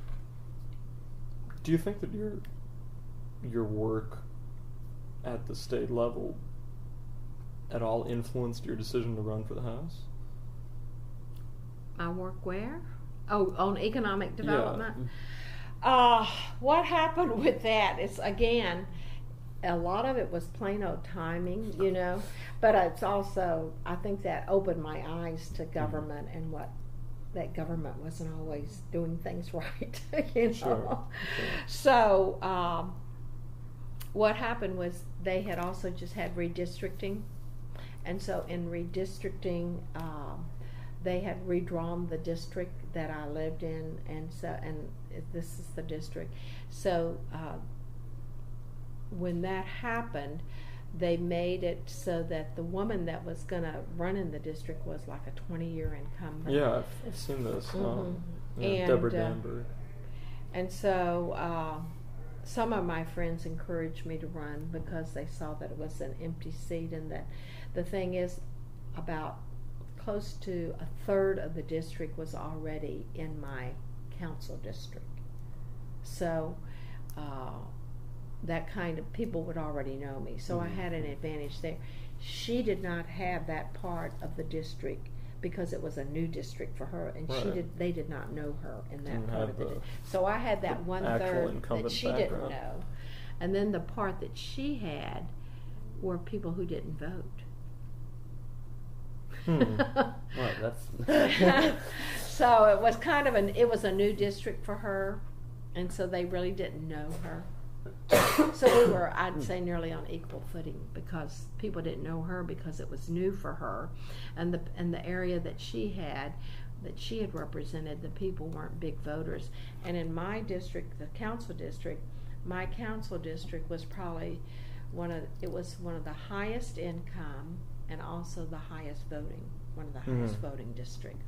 So I knew the people, the people knew me, and they always voted. So that was my advantage. Well, I, I want to double back to that briefly. Actually, um, your your reelection victories for the council are very impressive. You know, including the unopposed run and, and well, all of that. I mean- happens now. The third time you run, nobody runs against you because of term limits. The- But they don't have a chance, hardly. Uh. really. Uh-huh. You Oh, also apparently ran for tax assessor I did. collector in Mhm. 1996, though. and You Mhm. were defeated in the primary. Mm-hmm. Mm-hmm. Talk about that experience. Well, uh, what had happened is some of my Republican friends wanted uh, the the county was turning Republican, and so they wanted someone to run against the tax assessor, who was a very very old man that had been there for fifty years, and he was ill, and so some of the insiders knew he was ill, so they thought that I should run against him. Uh, I think because city council is on TV so much, and because I would always speak up at council, I became everybody knew who I was across the city, so they thought I could win that election. Well, what happened was this man who, uh, in the primaries, it's quite different. I hired this consultant who was a Republican consultant and also a consultant for Dr. Hotze, who runs this little game, and he puts out this little bulletin that says Republican, I don't know what, but it looks like it's from the Republican Party, but it's not. And he lists the people to run for them. And if you will give him 500, if you will give him $5,000, he will support you because the $5,000, he says, is used to print the ballot out. And so he puts everybody's name on the ballot. And if he likes you, then he'll tell people to vote for you. And people go into the voting booths with that ballot. Could you spell that name, please? H O T Z E, Hotze, Steve Okay. Hotze, Dr. Steve Hotze. You can look him up. Anyway, the guy that was running my campaign, I did not use his wife as a fundraiser. So I think he was mad at me. I told him to check my record to make sure that he knew I was Republican, to make sure I had voted Republican in the Republican primary. And then he had Dr. Hotze said that I was a Democrat on his prime on that little primary ballot that he sent out, and told everybody to vote for this other guy. So by the time, and this is in the primary, okay. Yeah. So when I saw when I saw what he had done, I called up my consultant. I said, "You know that I'm a Republican, and you had this printed up for him, and you should not have done that." I said, "I'm going to sue Dr. Hotze." I said, "I want an apology from him, and I want it printed in the paper." And I said, "You better call him because I'm getting ready to call the call the paper, and I'm going to let the paper know this whole crappy business." So Dr. Hotze got on the line and told me he was sorry and Mm. he'll put a retraction. It was in the paper and it was about this big. Mhm. so that's what can happen in a primary. Hmm. So on a more positive note, what, what were uh, what were your what was your most proud what was your proudest moment on when you served on council?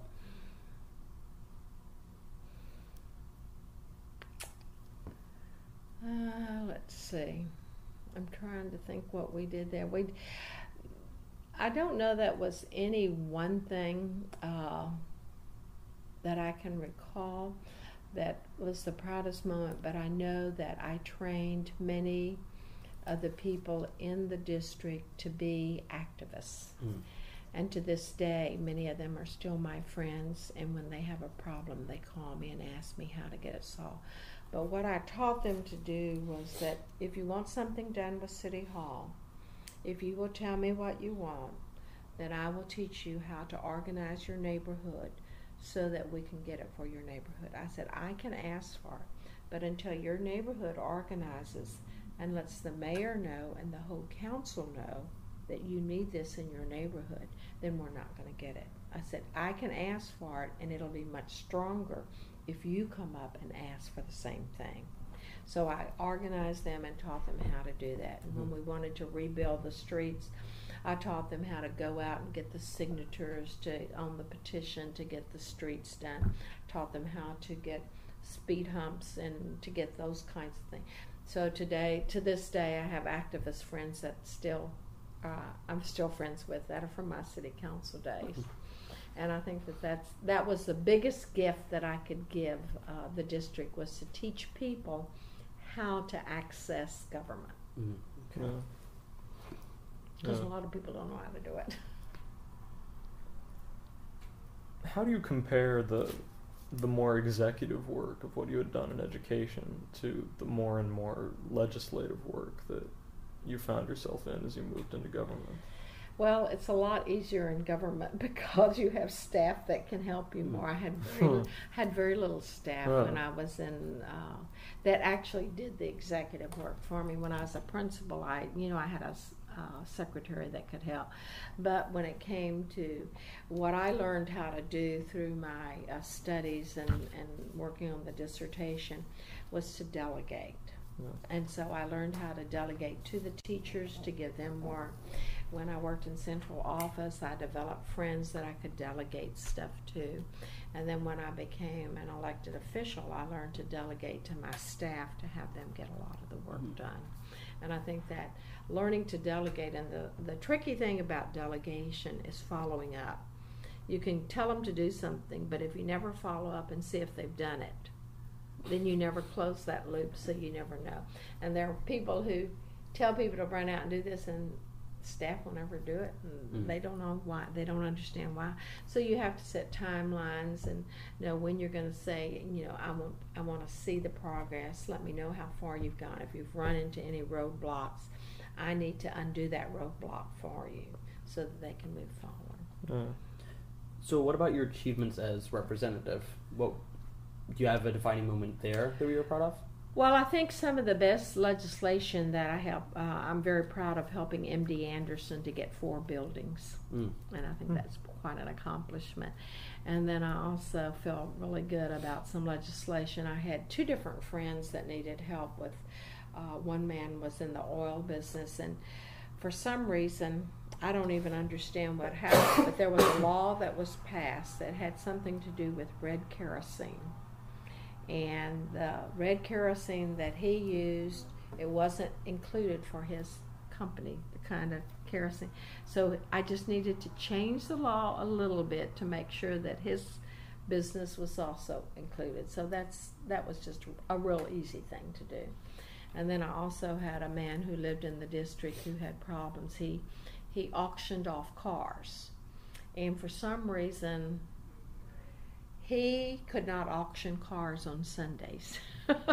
so we had to change the law to allow him to have the auctions on Sundays. It was just a really minor kind of thing. And then the thing that I really am very proud about is that um, you probably, y'all probably weren't here when this happened. A lot of women who go to nail salons, they got infected fingers or infected toenails because they weren't cleaning the instruments and the Mm. bacteria got in. One woman would have a streak up her arm, and Mm. um, so that was on television. It was an expose. So I uh, got with the um, the department that uh, manages the uh, hair salons and visited with them and told them that you know we really need to make sure that all the instruments are sanitized. So I passed a law to help san- make sure that every instrument now is sanitized, Hmm. like in the dental office. You know, your dental must, your dentist must sanitize. We use the same process to sanitize the instruments for manicures now. Sur- Surprisingly, didn't have. Wow. well, they used to just dip them in this little solution. and Oh, that- I see, I see. know that doesn't necessarily. And then sometimes the way that they have the foot, um, they run water through a little foot mas- Mhm. and that doesn't. They don't necessarily. You know, the water gets caught in those tubes. And so that's not always cleaned out. You Mhm. have to run some more water and then run the sanitizer with it to really clean it out well. I never let them. I never put my foot in a tub when I go in. So, um, so, what were your biggest frustrations then when you were in office? I think the biggest frustration and what I'm surprised about, and you probably hear reading about it now, is uh, how mean some legislators can be. Downright mean. Mhm. Uh, Can you talk about some of that? well, I think that you know, like if they don't want, if they don't want a law to pass, as they didn't in the last session that Mhm. it just ended yesterday, um, they can, uh, you know, they find teeny tiny little things that are mistakes, and they'll bring that up. And that, but that's the Mhm. rules. You know, that's Mhm. the rules, and you have to follow the rules. But uh, if you know the rules, not only do they know how to stop something from occurring, they also know how to get around the rules so that they can get their bills passed. Mm. And then how they will hold something against you because you don't agree with them. I'm real surprised that some of them hold grudges in that way. But then on the whole, there's, and it's nearly partisan Mhm. You know, it's nearly partisan. But I'm also surprised at um, how good some of the people are. So I was surprised at how mean some people are and how good other people are. And I was really surprised at how religious some of the legislators are Mhm. and how, you know, uh, their prayer sessions and Bible studies that we go to. So that was very enlightening to me. The other part that was enlightening to me was how wealthy the majority of the legislators are. Mm. Hmm. Uh, and they got their wealth before they got there. hmm right. Mm-hmm. Yeah. So that's what I was real Right. surprised about. Uh, many of them are millionaires. And one of the guys that came in with me, I didn't, you know, they don't act like it though. They don't act like, you know, uh, these guys that own a thousand acres, two or three hundred thousand acres, ranches, just downright nice. Down, you know, just the nicest person and will do anything for you, and his wife would do anything for you.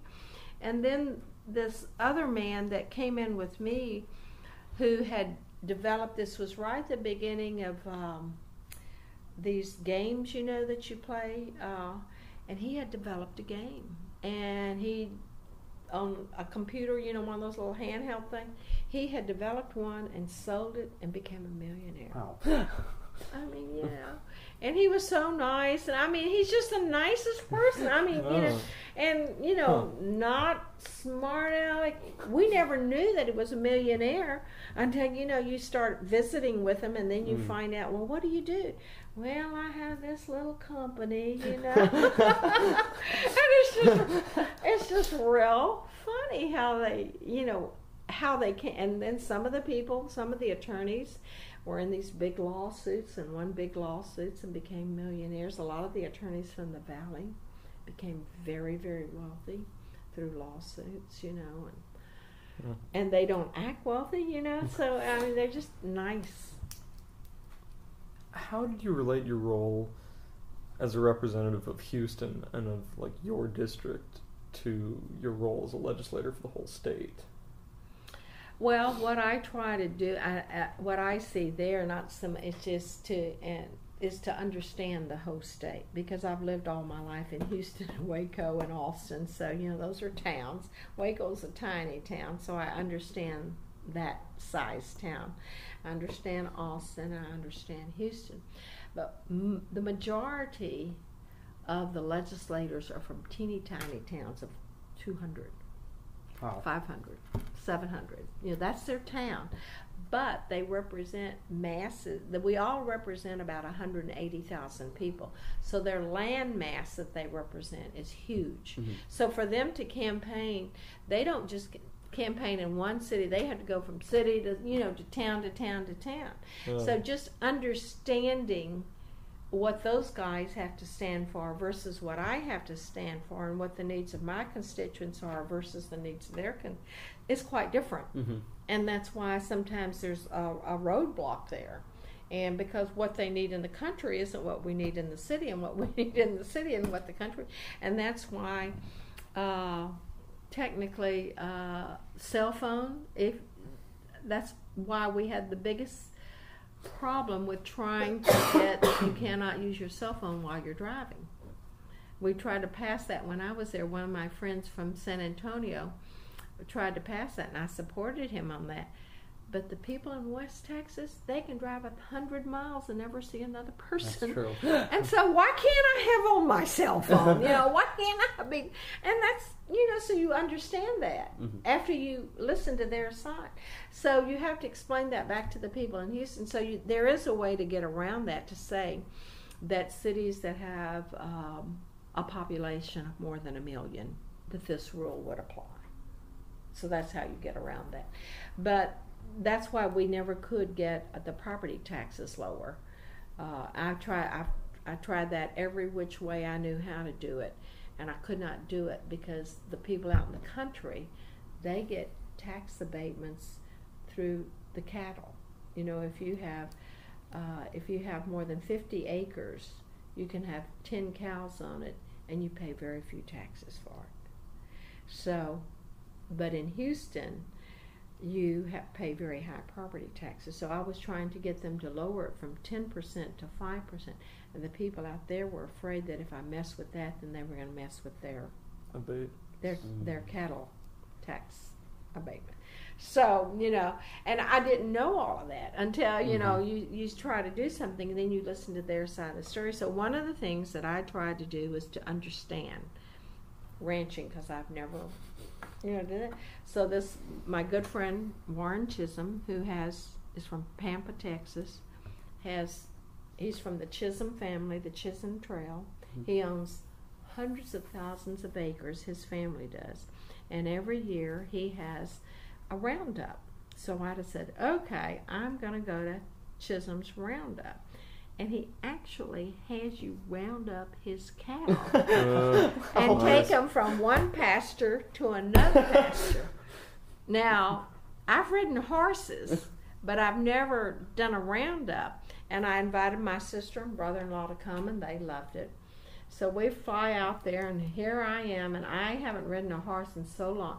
And it's not just one hour, it's like three hours on a horse. And I'm not, you know, I've taken a ride through Hermann Park on a horse for 30 minutes. And uh-huh. I am on this horse for three hours, and I'm the last one there because everybody else can gallop their horses, and I won't mind to walk. So, I, so anyway, I do that, and the next day I cannot walk. Oh, Of course. yes, of course not. But I, but here I am. I'm trying to prove to my colleagues who are ranchers that you know I'm going to be big city girl going to the ranch and learn what you guys do, and so that's so that's what I did to try to do that. So. But it's it's important to know to understand the host state, and then to come back to Houston and explain to your constituents the concerns. You're not just when you're voting. Yes, I'm voting the way you want, but why other people don't vote to support what we want. Mhm. You have to explain that to your people. So I think that's a big communication. That if you have never lived on a ranch or lived out in the country, then it's hard to understand. Yeah. Yeah. Would you take a minute to discuss the 2006 election? Okay. Um, were you satisfied with what your campaign had done to, to work towards the election, even though you were defeated? Well, I think we could have done things differently. But what had happened, uh, and it was a perfect storm for me, what had happened was we had passed tort reform when I was in the legislature that year, the year before, uh, in that last legislative session. And um, I voted for tort reform. I voted, in fact, we, we had the bill, we were about ready to pass it, and then they found something wrong with our procedures and my friend Joe Nixon was the person carrying the bill, and he had been on the floor already probably 10 hours. We were debating the bill for 10. They found something wrong with it, so it had to go back through the whole process mm-hmm. again, and then we debated again for another 10 hours. And you know, you sit there for 20 hours over one topic, and I voted for it. And of course, the trial attorneys were mad as hell. And so, what the trial attorneys did was they, because it's cutting into their money. Of course, yeah. Yeah. The trial attorneys looked at the state of Texas and said, who's the most vulnerable? What district can we change? And mine was the district because it's, and if he, you know, it's barely Republican, and it was Republican because they counted the years when George Bush ran. And George Bush was, you know, the favorite son, so they used those numbers saying it was 54% Republican. And that's because people voted for George Bush, so they thought it was a Republican district. Well, the independents voted for George, and some of the Democrats voted for George, but it wasn't that much. It's really about a third Republican, a third Democrat, and a third independent, is what I have come to find. You know, as I look at it, that's how I see it. Okay. So what happened is the tort, um, uh, the trial attorneys, um, and I don't even know his name. I should learn it. They set up a group called the First Tuesdays, and they raised money for Ellen, and they gave her big bucks. They gave her all the money she needed, and then.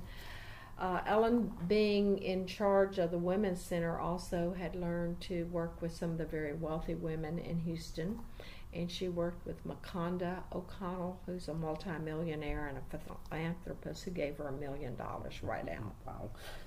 So she had tons of money. So it's hard to be, even though I raised a lot of money, she had more, even more money than I had, and it's hard to beat that kind of money.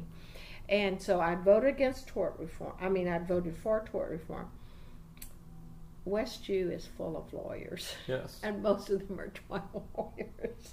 Well, I have to believe that there's there's trial lawyers out there that are Republicans also. There are Was it very really? few. I mean, very few that earn their. it seems just way. so you know well, so okay. directly quid pro quo that you know they just take revenge finished. on you. Oh yeah, well because I'm the easy pickings. My district is the one. Everyone else is much more Republican. They're like 57, 60 percent Republican. You can't beat that. Yeah. You can't beat that. But if you look at the district and you study the numbers, you can beat in, in this district. So the other thing that I did was I also offended the gay and lesbian community because our wonderful conservative friends in the House wanted to pass um, the law that uh, to recognize marriage as only between a man and a woman. I got assigned to state affairs, and state affairs is the commu- is the committee that hears that law. So it came before me, and we were up. We met at three o'clock. We didn't finish till six o'clock in the morning. Wow. That's how long we listened to testimony. And what they were doing is the Democrats were bringing in uh, all the kids from UT and telling them what to say, and they'd come in in little groups of five or six, and they were students, and they'd come in and testify and tell us to pass the law. Well, I decided, being on the committee, that I should not decide how that law should be. That I should let the whole House decide. That it's not my decision to make alone. You know, that we should pass it out of committee so the whole house can make a decision on whether or not we should, you know, put it up to. But it had to go to a vote of the people. So I decided, okay, it's not. I should not be the person to hold up the whole house from debating this bill. So I voted it out of committee, and then it went to the whole house. When it came up for a vote at the whole house, I did. I abstained. I did not vote for the bill, and they got mad at me. So the gay and lesbian community got mad at me. So I had the gay and lesbian community mad at me, which is in this district, big Mhm. time with Montrose. And the trial lawyers in West U were mad at me. So I have two major voting groups mad at me. And there was nothing I could do to change their mind. So we, I didn't even walk Montrose. I have walked Montrose before, you know. Yeah. and they they were sending out really ugly stuff about me really ugly stuff you know. And, w- and one of my friends and i have hired gay people on my staff when i was at city hall. Two of my members were gay. Two of my staff members were gay. And and when we had a vote at the house there was one time when we voted on unions. There was a, a there was a um, an amendment to allow gay unions and i voted for that. And one of my one of the uh, my friends I, I was at his house for a party and he called me up afterward. He says martha you really did treat us bad. I said i did what i thought i could do for you. He i said did you know that i voted for gay unions? He says well nobody said anything about that for for you. Why didn't you publicize that I said, if I publicize that, then all the Republicans are going to vote against me. Ooh, You yeah, know? you're so you're next caught between the devil and the deep blue sea there. You know, how can I send out a flyer tell, and I don't know who's gay. You know, Yeah. I can't send it out just to the gay community to say I did this, and they wouldn't talk to me after the vote. Mm. So how do I get my message out to them? Mm. And so I had a very difficult time, and that's what happened. No. So, what, I, I even went to their ball, the gay ball. You know, I mean, you know, I did everything I knew how to do. Was there anything you felt like you had left undone as you as you left? Well, I still think that we need to do property taxes. We need to lower the um, the percentage that it can increase.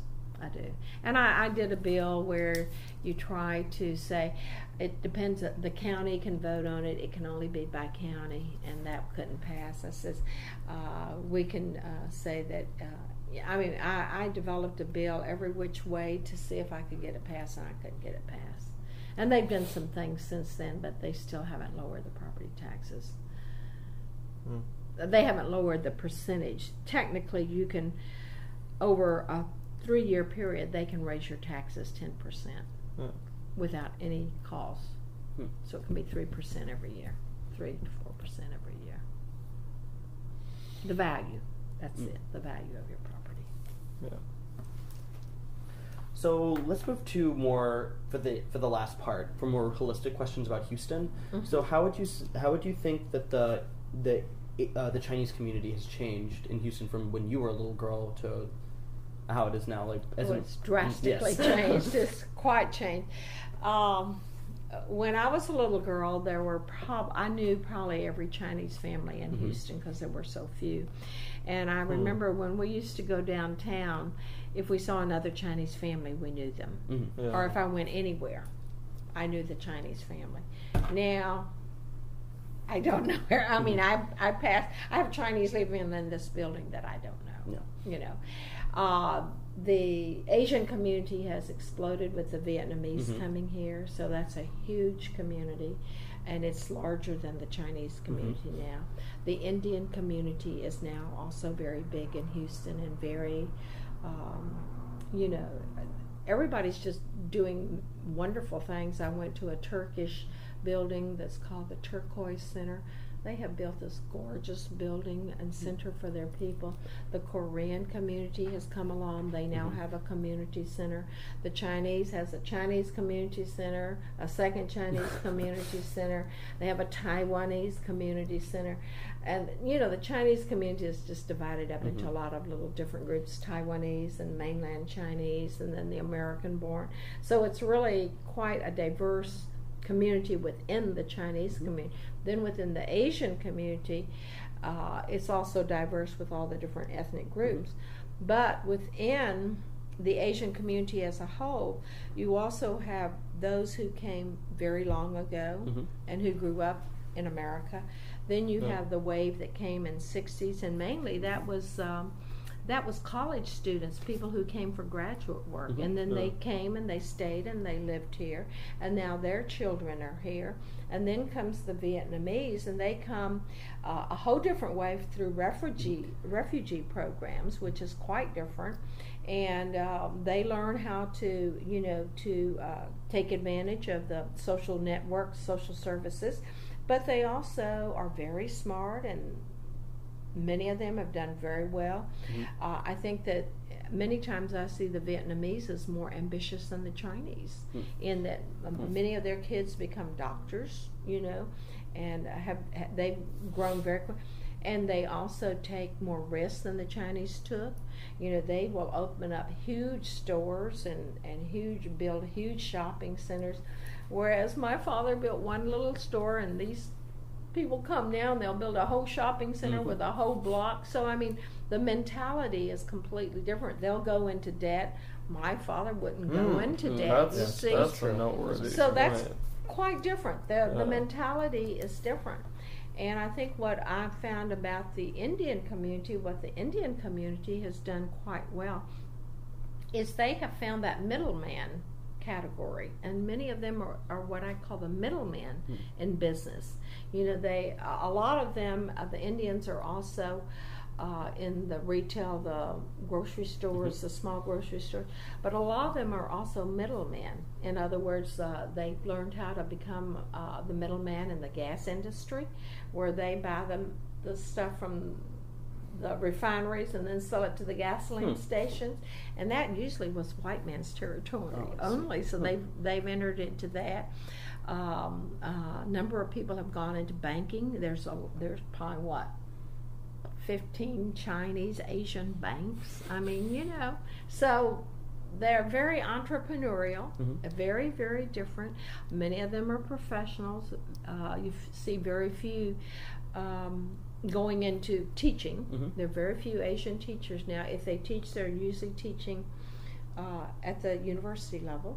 now. So I think the whole standard of living for Asians has risen, but yet there's still many of the uh, refugees that come uh, still have a very difficult time. Uh, many of them still do not speak English well.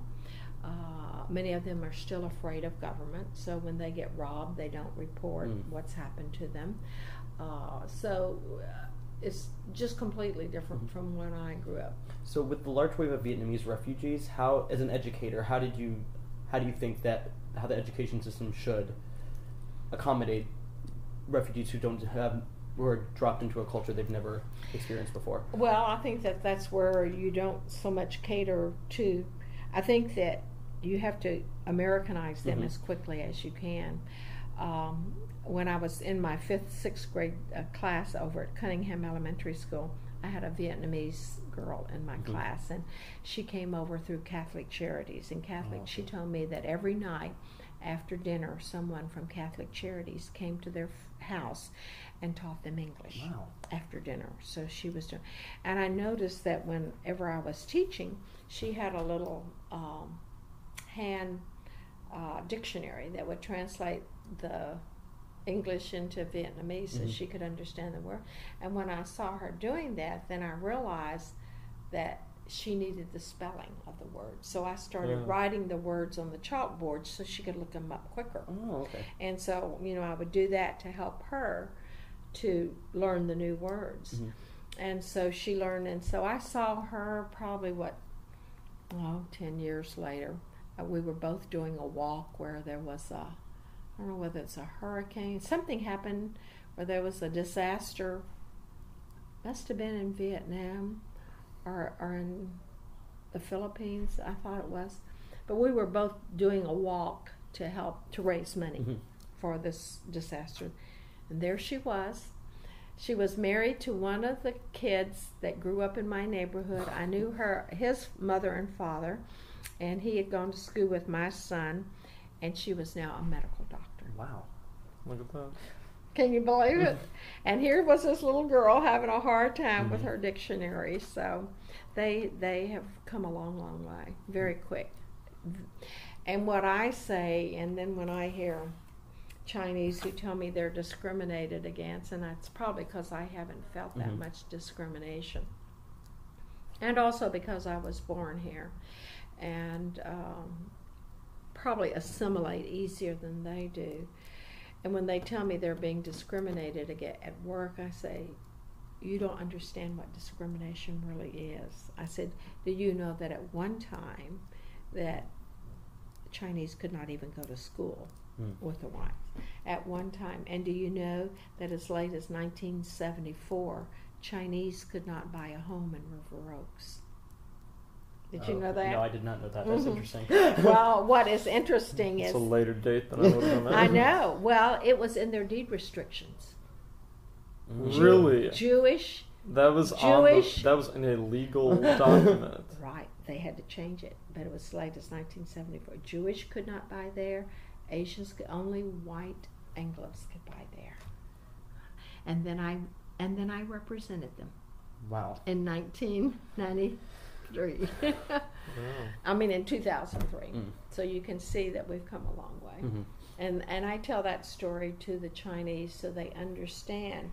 It has taken time for us to assimilate and to become a part of this Mhm. country. And because you are here and because the country has been good to you, then you need to get back to the country. So that's what I try to preach to everyone. Mhm. You need to get back. Hmm. In what area do you think you personally have had the most impact on the lives of Asian Americans? I really think uh, serving on the city council probably was the biggest impact. Uh, first of all, because it was the first, and I mean, Houston was already a hundred years old and had not had an Asian American on council. Right. And I think because it was televised, and there was an Asian on television that they had never seen before. You know, the only person they saw before was Connie Chung. You know, right. yeah. Yeah. So- so that was something that they were very proud of. I did not realize until fairly recently what an impact that had on the Asian community. And I'll tell you what happened. Is I went to a luncheon when the ambassador from Singapore was in Houston at the Greater Houston Partnership, and I was sitting at a table, and um, uh, one of my my friend who works at the bank had invited me, and she's an Asian, another Asian. No, her boss and me. There was a guy sitting across from me that looked Asian, but he wasn't hundred percent Asian. I think his father is Caucasian, his mother's Korean. And so, you know, I get up and I introduce myself to everyone like this. So we're talking, and the guy says, You know, Martha, I've always wanted to meet you. I says, Well, it's very nice to meet you too. And he says, uh, You know, my mother loves you. I said, Have I ever met your mother? Who, you know, tell me a little bit. But he says, When you were on council, and my mother, who is Korean, whenever you would get up and talk, she just loved it. She said she was so proud of you for being an Asian on council and that you had this southern accent and it was just so cute with this hmm. Chinese with this southern accent. But she was so proud of you and my mother always talks about you. I do not know that woman. I did not know this young man. He's an attorney mm-hmm. and he's a gay attorney you know, and I invited him to serve on a com- on the APAHA committee with me, and he admitted at the committee that he was gay. Didn't matter to me, you know, uh, but and so when he told me that, and he, that his mother, who I have never met, had never met him, and how proud she was, then that makes me understand what serving on council did to mm-hmm. Asian Americans and how proud it made them. I'll tell you that I can go in. People will recognize me from being on council more than anything else, and I know it's because of television. I can go into Target and I can check out at Target, and if it's an African American checking out, they'll say, Oh, you were on city council, weren't you? They keep up with who is on mm. council and they know who they're who's on council, and it, I'm just amazed. I went to Costco, which is just across mm-hmm. the street, and there's a little Vietnamese guy checking. You know, when you go out, they check your grocery, make sure that you have the right. And he says, "You're Martha Wong, aren't you?" I said, "You know, because your name's on check it." I said, "Yes, sir. I am." He says, "You were on council, weren't you?" I said, "Yes, sir." And he says, so you know, it's just little things like that that now come back to me mm-hmm. that make me realize that my visibility on council uh, gave a lot of people a lot of pride for mm-hmm. being Asian American. And I didn't know this. Hubert Vo, who is a state representative, I interviewed him for a radio show that I did last year. And I said, Hubert, how did you get interested in politics? He said, Well, Martha, when you were on council and you represented the Asian American community, I decided that I wanted to do what you were doing. And I didn't know Hubert Vo from the Man in the Moon. I didn't even know him when he ran for state rep, you know. So I that that's why I think that that's probably my biggest contribution because it made Asians aware that they could run for public office and win, and it made them aware that Asians were at the table.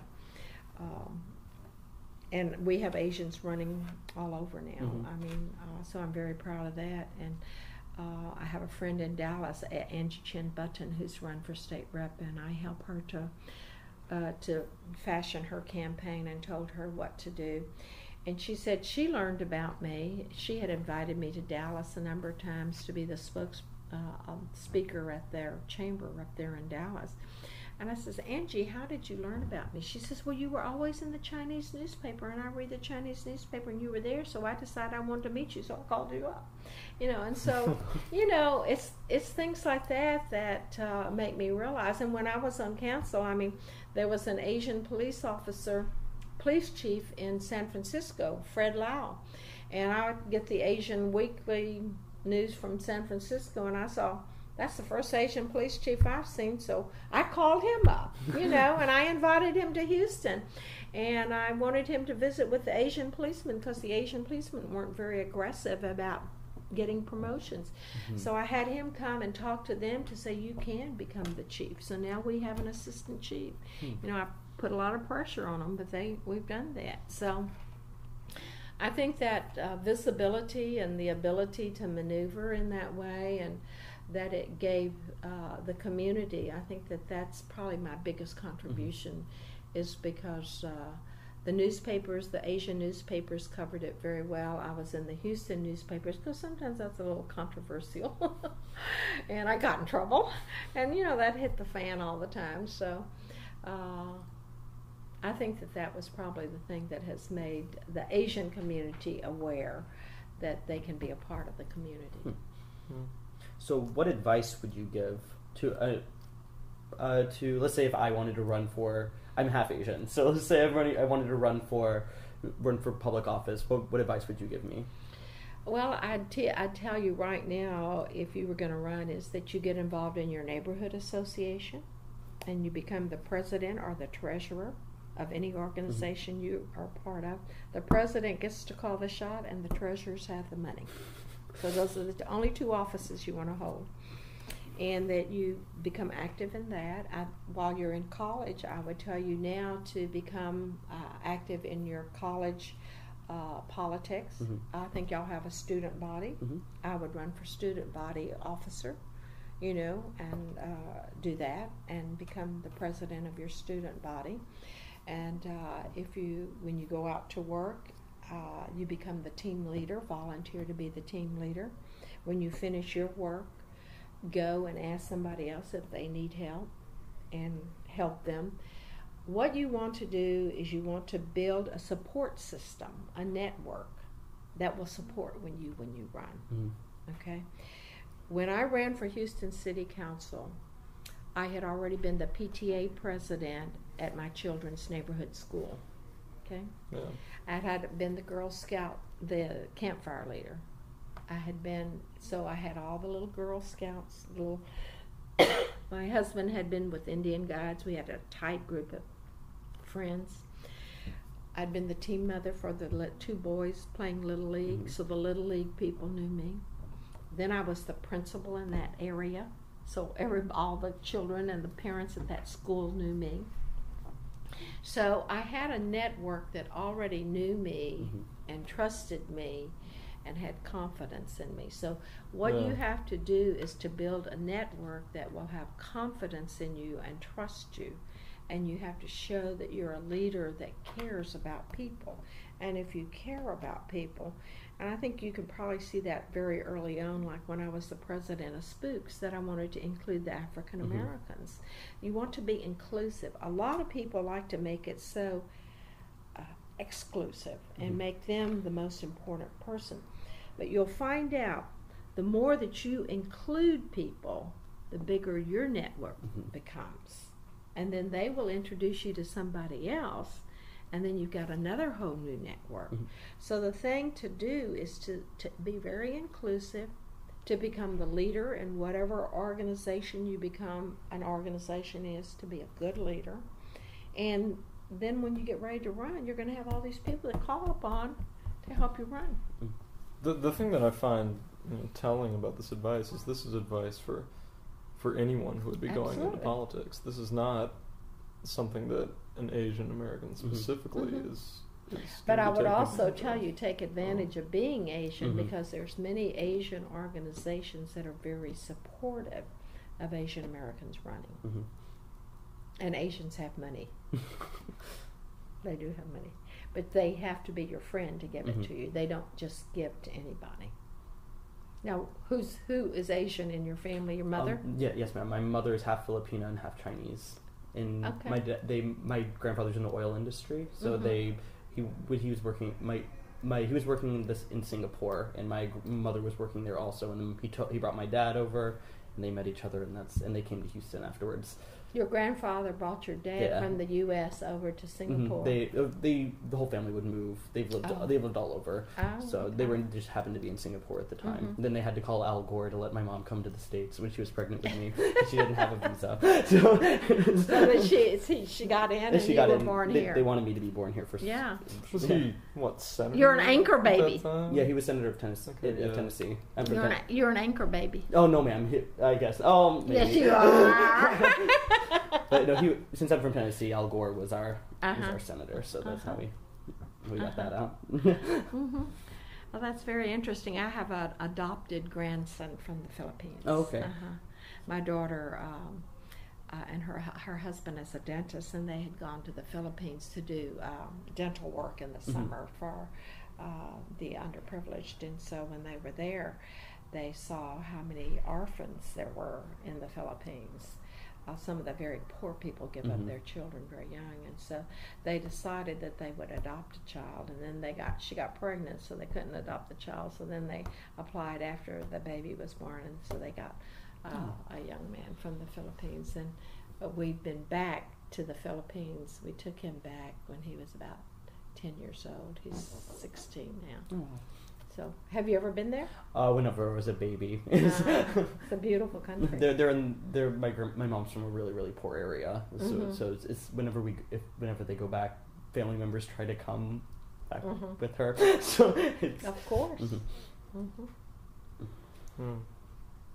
Are you a member of the Filipino group that they have here? they don't no they don't have it's not very prominent at Rice. Uh-huh. Like there's no Filipino student association at Rice because they're Uh, they're like huge at the University. Oh, it is. There are about there. I only know a few of us, and most of us are part Chinese too. Mhm. So it's. I'm not affiliated with any of the Chinese organizations because Mhm. I don't know because they're very specific at. Rice, and so I don't know which exactly which one Just to go join. to any. Just go to any of them. But some of the Taiwanese will exclude you. oh yeah. Some of the Taiwanese are very prejudiced. I was going to join the Hong Kong Student Association. yeah, that's the most open. my r- my suite mate was is president of that, so that Well, was- you should go there. That's a good group. My sister was similar to you though. She's she's she's not half Asian. She's full, but she's Mhm. she has a southern accent, and so they all think, they think it's super cute. But she has a uh, anglicized. Her name's Ro- has the last name Rogers also, so people Mhm. are very surprised when they when they when they see her. One time when I was on city council, I, I was talking to this man, and he says, Mrs. Wong, did you marry an Asian? I said, Yes, sir, I did. That's why my name is Wong. and he says, Are you Asian too? And I said, Yes, sir, I am. He says, Well, you don't sound like an Asian. I says, Well, I am, sir. Would you like to make an appointment so you can see me? You know, because just on the phone, mm. you know, Yeah. he just said, You must have married an Asian. I, yes, sir, I did. and then I went to California. My daughter married a guy from California. Mm-hmm.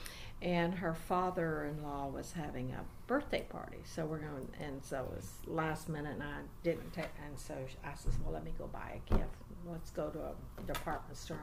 So I go to this tie department, and uh, there's a Japanese fellow working there. Can you tell the difference in, in Oh, I'm, I'm, I, I I work at uh, I work at Berry Pub, not this one, but I'm I play the game where I if they have a credit card, I look at the last name, and I'm 99 percent of the time I'm right. you can't tell by looking. Yeah, I, know, I can tell. I can tell by looking. I verify You- by the Yeah. last name. I Yeah. Yeah. that was the- Yeah, you should. You work at Berry Pub? Not this one, but the one in the Rice Village. Oh, I didn't. Where's the one in the Rice Village? It's it's in a really horrible location, so no one actually knows where it is. It's near Bistro des Amis. Oh, the Oh, yeah. It's It- a pretty invisible it's- spot, it's though. real- I can, bad I can confirm that. Are they busy or not? He ought to move it. I know the guy that owns it. Um, that started it, No, David. uh, Uh, this one is owned by um, Bill Parrish, so it's not. Oh, that's Yeah. the franchise. He Mhm. needs to move it. But I went to this tie counter and it was a Japanese fellow working there. And I said, Show me your most expensive tie. So he looks at me. He says, What'd you say? I said, Show me your most expensive tie. I need to buy a tie for my daughter's father in law. He says, What are you? and I says, What do you mean? I says, You don't mean what am I? You want to know where I'm from. And he says, Yes. He says, you aren't Chinese, are you? I says, yes, I am. He says, but you have that accent. I said, I know I'm a Chinese from Texas. but he, he didn't, he wanted to know, what am I? He didn't with the Texas accent. Oh, yeah. So, and I don't even know. And my my younger sister has it, but my older sister doesn't. Oh, it's, it's interesting. I don't I don't know why I never I never had an accent. But my sister has. has Was a- she raised here? Uh, she we were both raised in Tennessee, and it was Oh. just I. I don't understand why. I don't have one, but she does. My grandparents have it. I Mhm. don't. I really don't know. Strange thing to Yeah. try to It explain. is. yeah. It is. I think this takes us to the end of the specific questions that we Okay. had laid out. Um, if you have Anything else you want to add? any other remarks that we haven't gotten down. Mm, no, I think you kind of covered everything. Mhm. Possibly. yeah. Probably more than you needed. Uh, I don't think so. They want to know. They'll probably want to know more. Uh, hmm. But tell me what kind of documents you would like. um.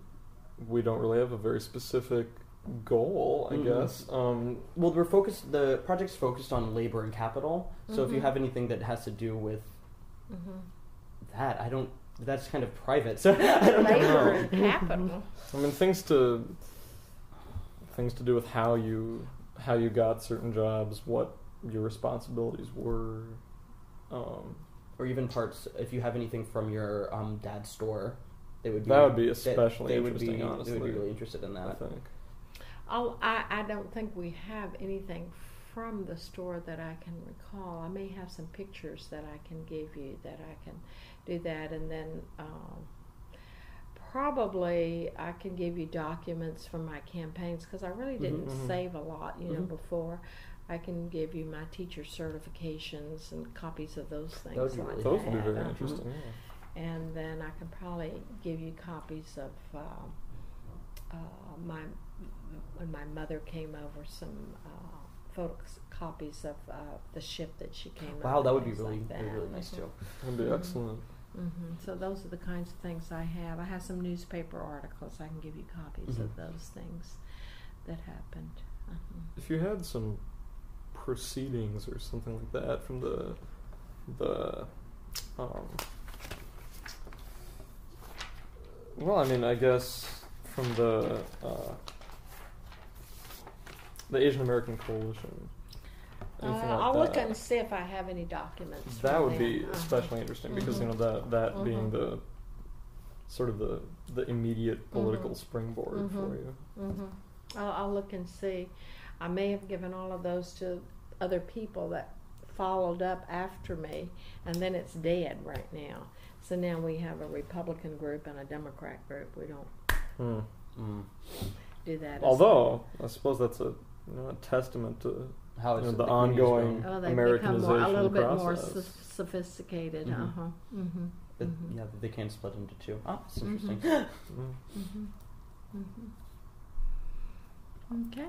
I guess you can be in touch with us by email Mhm. about about those. Okay. And I, I could come pick it up actually since Okay. I, I live right down the street. so could, Well, where do you live? I live at um I used to live at the luxury apartments over the, on the it, what's it called the village at West University. I used to Oh, I used to uh-huh. live right over there, but Okay. I I live with my grandfather, but then he moved back to Tennessee because his his uh, he's a contractor, so his it ended with his contract ended with um, Chevron, and so he moved back to Tennessee, and so I he didn't want to pay. He's like, I'm not paying for that if you're just gonna live there, and so I live oh, I live at Sendera at Greenway right right over there on between Edloe and it's on Edloe, but between West Alabama and Richmond. Oh, uh-huh, mhm. So it's- those it- are fairly new apartments, Mhm, aren't it's they? Uh-huh. it's okay. I like I miss my old apartment actually. Well, how come you weren't living on campus? Uh, it's cheap. It was ended up being cheaper because his old Chevron paid for my grandfather to Uh-huh. live here for the like real, part of the relocation agreement. Mhm. So he they paid. I mean, he got to live Mhm. there for free, and so it's just Mhm. well, we're not paying for room and board if you can live here for free. Mhm. So that was That's the Asian in your family. so that's that's what happened. and where do you live? Well, I mean, I, I live on campus, um, but I'm originally from Minnesota, Oh, actually. okay. So. I'm rather Cold, far out of my geographic depth. Well, so why did you choose Rice? Well, because of the architecture program, Okay. actually, um, I was I was drawn to that. Mm-hmm. Um, it's always interesting to talk to people who, you know, people in the South who tell Mhm. me that, you know, they would, you know, they would always refuse to even apply to anywhere where it was going to be cold, and Yeah. you know, this always amazed me because I was thinking, I you know, know. that, you know, the kind of caliber of schools that you guys are aiming at at Rice, you're you're cutting out a huge swath of possible options. I mean, you're forcing yourself to have to like get it right and not a smaller Well, pool. Well, I, I wasn't about to cut off Houston just because the humidity is so catastrophic. Yeah, but you see, know? if you live here long enough, you get used to it, so it doesn't bother That's you. the thing, Uh-huh, right? Uh-huh, Yeah. uh-huh. But there's a lot of people that move down south after they finish their work because they don't Yeah. want to shovel that snow. Mm, I know a lot of people from Michigan move to Mhm. Tennessee I for some reason. I don't understand. Tennessee of all places, they'll move. People from Mhm. Michigan will move to my town. hmm Arizona seems like it's where people go from Minnesota. Uh, a lot of them go there. Uh huh. hmm They probably go there in the winter too. Or Mhm. occasionally, yeah. Uh-huh. I mean, certainly, you know, after they retire, that's the, the odds of that go up. Mhm. I don't think they retire here. I think they either retire usually in Arizona. I had a friend whose parents were uh, from the north and they uh, lived in Sun City in Arizona. And then a lot of them go to Incredibly Florida literal also. name. Yeah. they had a good life there. Those those oil companies took good care of the people, and the Mm. automobile companies took good care of the people a long time ago. Really, they had good retirements. They lived in a home, played golf every day. You know, almost tournaments. so it's not bad. Yeah. Not bad. hmm Okay. Thank you very much for having Well, us. And you're for welcome. interview. I hope it uh, helps. Are y'all gonna type it up, or Yes, what do y'all are. do? Yes. We have until next Saturday, so we were we were lucky that your interview was earlier in the week, so we have long a longer time to type up to Oh, transcribe okay. it. But since there are two of us, it'll take half Uh-huh. the time. It's true. So Mhm. I had to do.